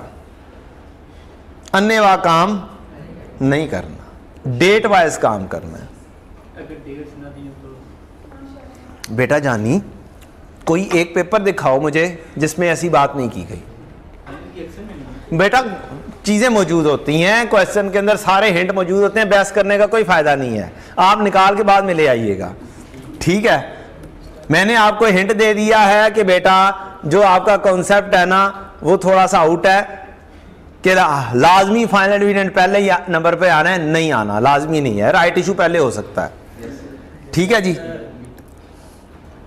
राइट इशू 20 दिसंबर 20 परसेंट अठारह रुपए पे 30 मई को होना है। ट्रांजैक्शन कॉस्ट ऑफ़ रुपीज़ तीन मिलियन वर आल्सो इनकर्ड अब राइट इशू का शॉर्टकट क्या है? कैसे एग्जिस्टिंग शेयर राइट इशू कैसे nominal amount existing share capital को डिवाइड कर देंगे नॉमिनल अमाउंट से, आगे। उसके साथ परसेंटेज से मल्टीप्लाई करेंगे तो क्या चीज़ आएगी? नंबर ऑफ़ शेयर शेयर्स आ जाएँगे, फिर क्या करेंगे?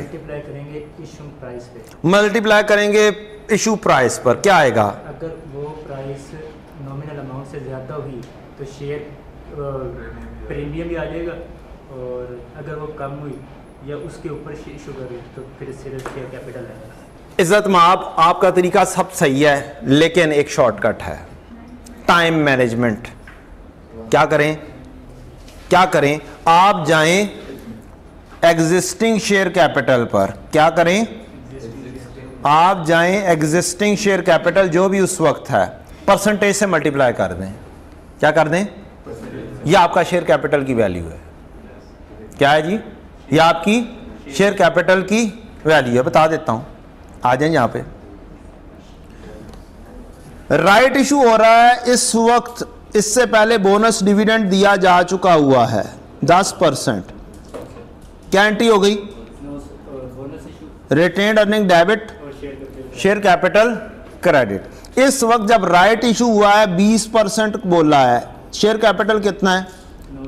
नौ सौ नब्बे। आप क्या करें? 990 के 20 परसेंट से मल्टीप्लाई करें आंसर निकाल लें। सीधा सीधा, सा, बड़ा जल्दी जल्दी काम होने वाला। 198 ये आपका शेयर कैपिटल की वैल्यू आ गई। ये आपकी क्या आ गई है? शेयर कैपिटल की वैल्यू आ गई है। अब आपको चाहिए शेयर प्रीमियम 10 वाली चीज़ कितने पे इशू हुई है? ऐसा ही है ना? आठ रुपए शेयर प्रीमियम है ना? आठ रुपए शेयर प्रीमियम है। आपने क्या करना है? अगला स्टेप ये करना है। ये जो शेयर कैपिटल आया ना 198 इस 198 को फेस वैल्यू से डिवाइड कर देना है और प्रीमियम से मल्टीप्लाई कर देना है। और ये काम बगैर वर्किंग में गए आपका फेस के ऊपर ही क्या हो जाएगा? ख़त्म हो जाएगा। ठीक है? आप अपनी कैलकुलेशन कर लें। आप पहले क्या करते हैं? एग्जिस्टिंग नंबर ऑफ़ शेयर्स निकालते हैं। फिर उससे मल्टीप्लाई करते हैं। न्यू नंबर ऑफ़ शेयर्स निकालते हैं।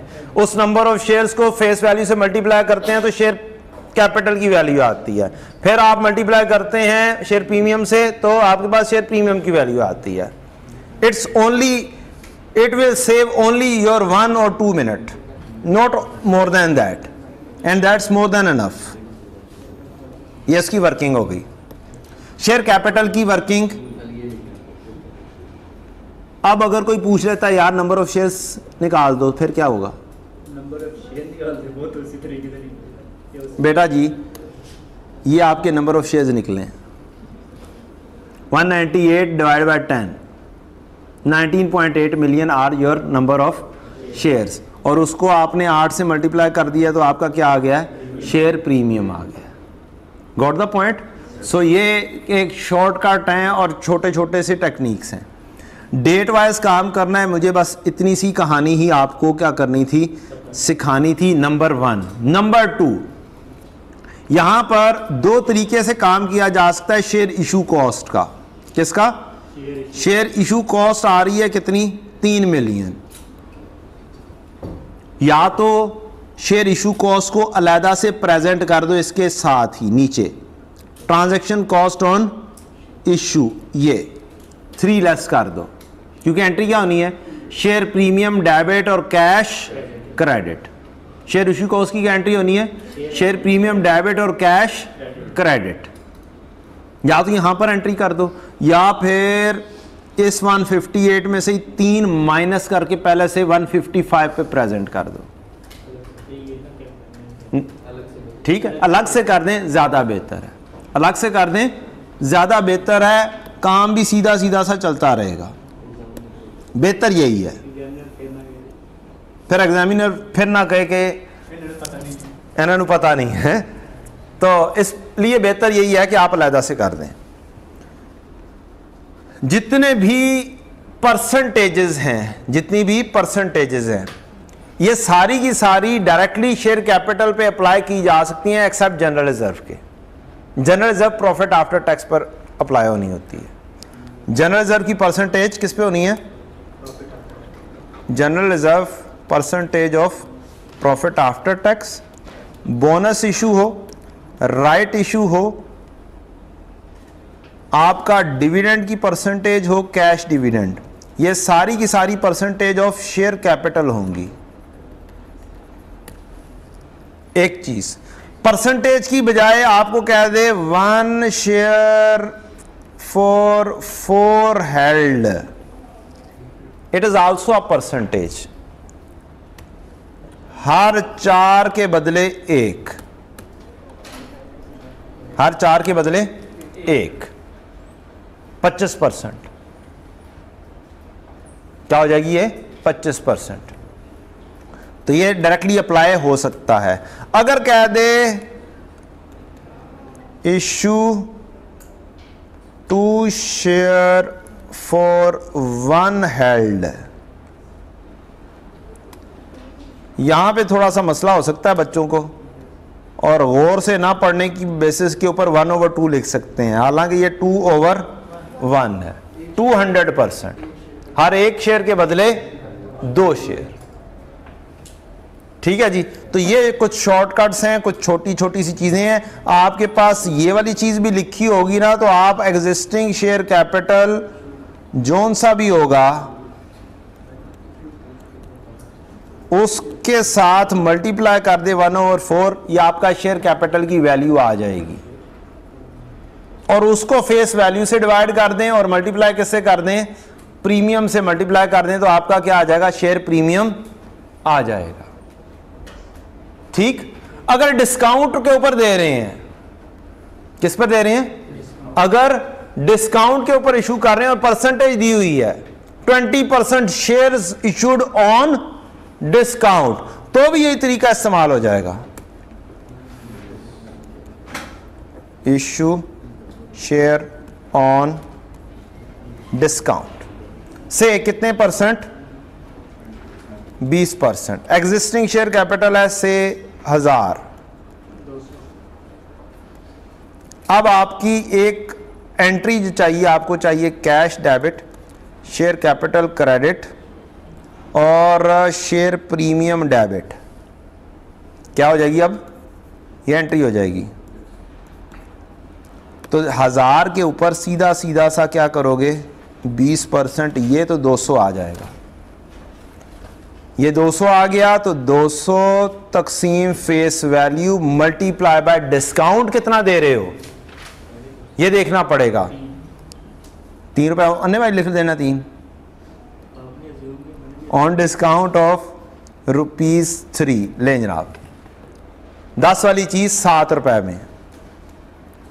दस वाली चीज़ सात रुपए में। तो मल्टीप्लाई बाय थ्री कर दोगे। नंबर ऑफ़ शेयर्स आ जाएँगे बीस मिलियन इंटू थ्री कर दोगे तो उसकी वैल्यू आ जाएगी। साठ और कैश आ जाएगा आपका सात रुपए, एक सौ चालीस।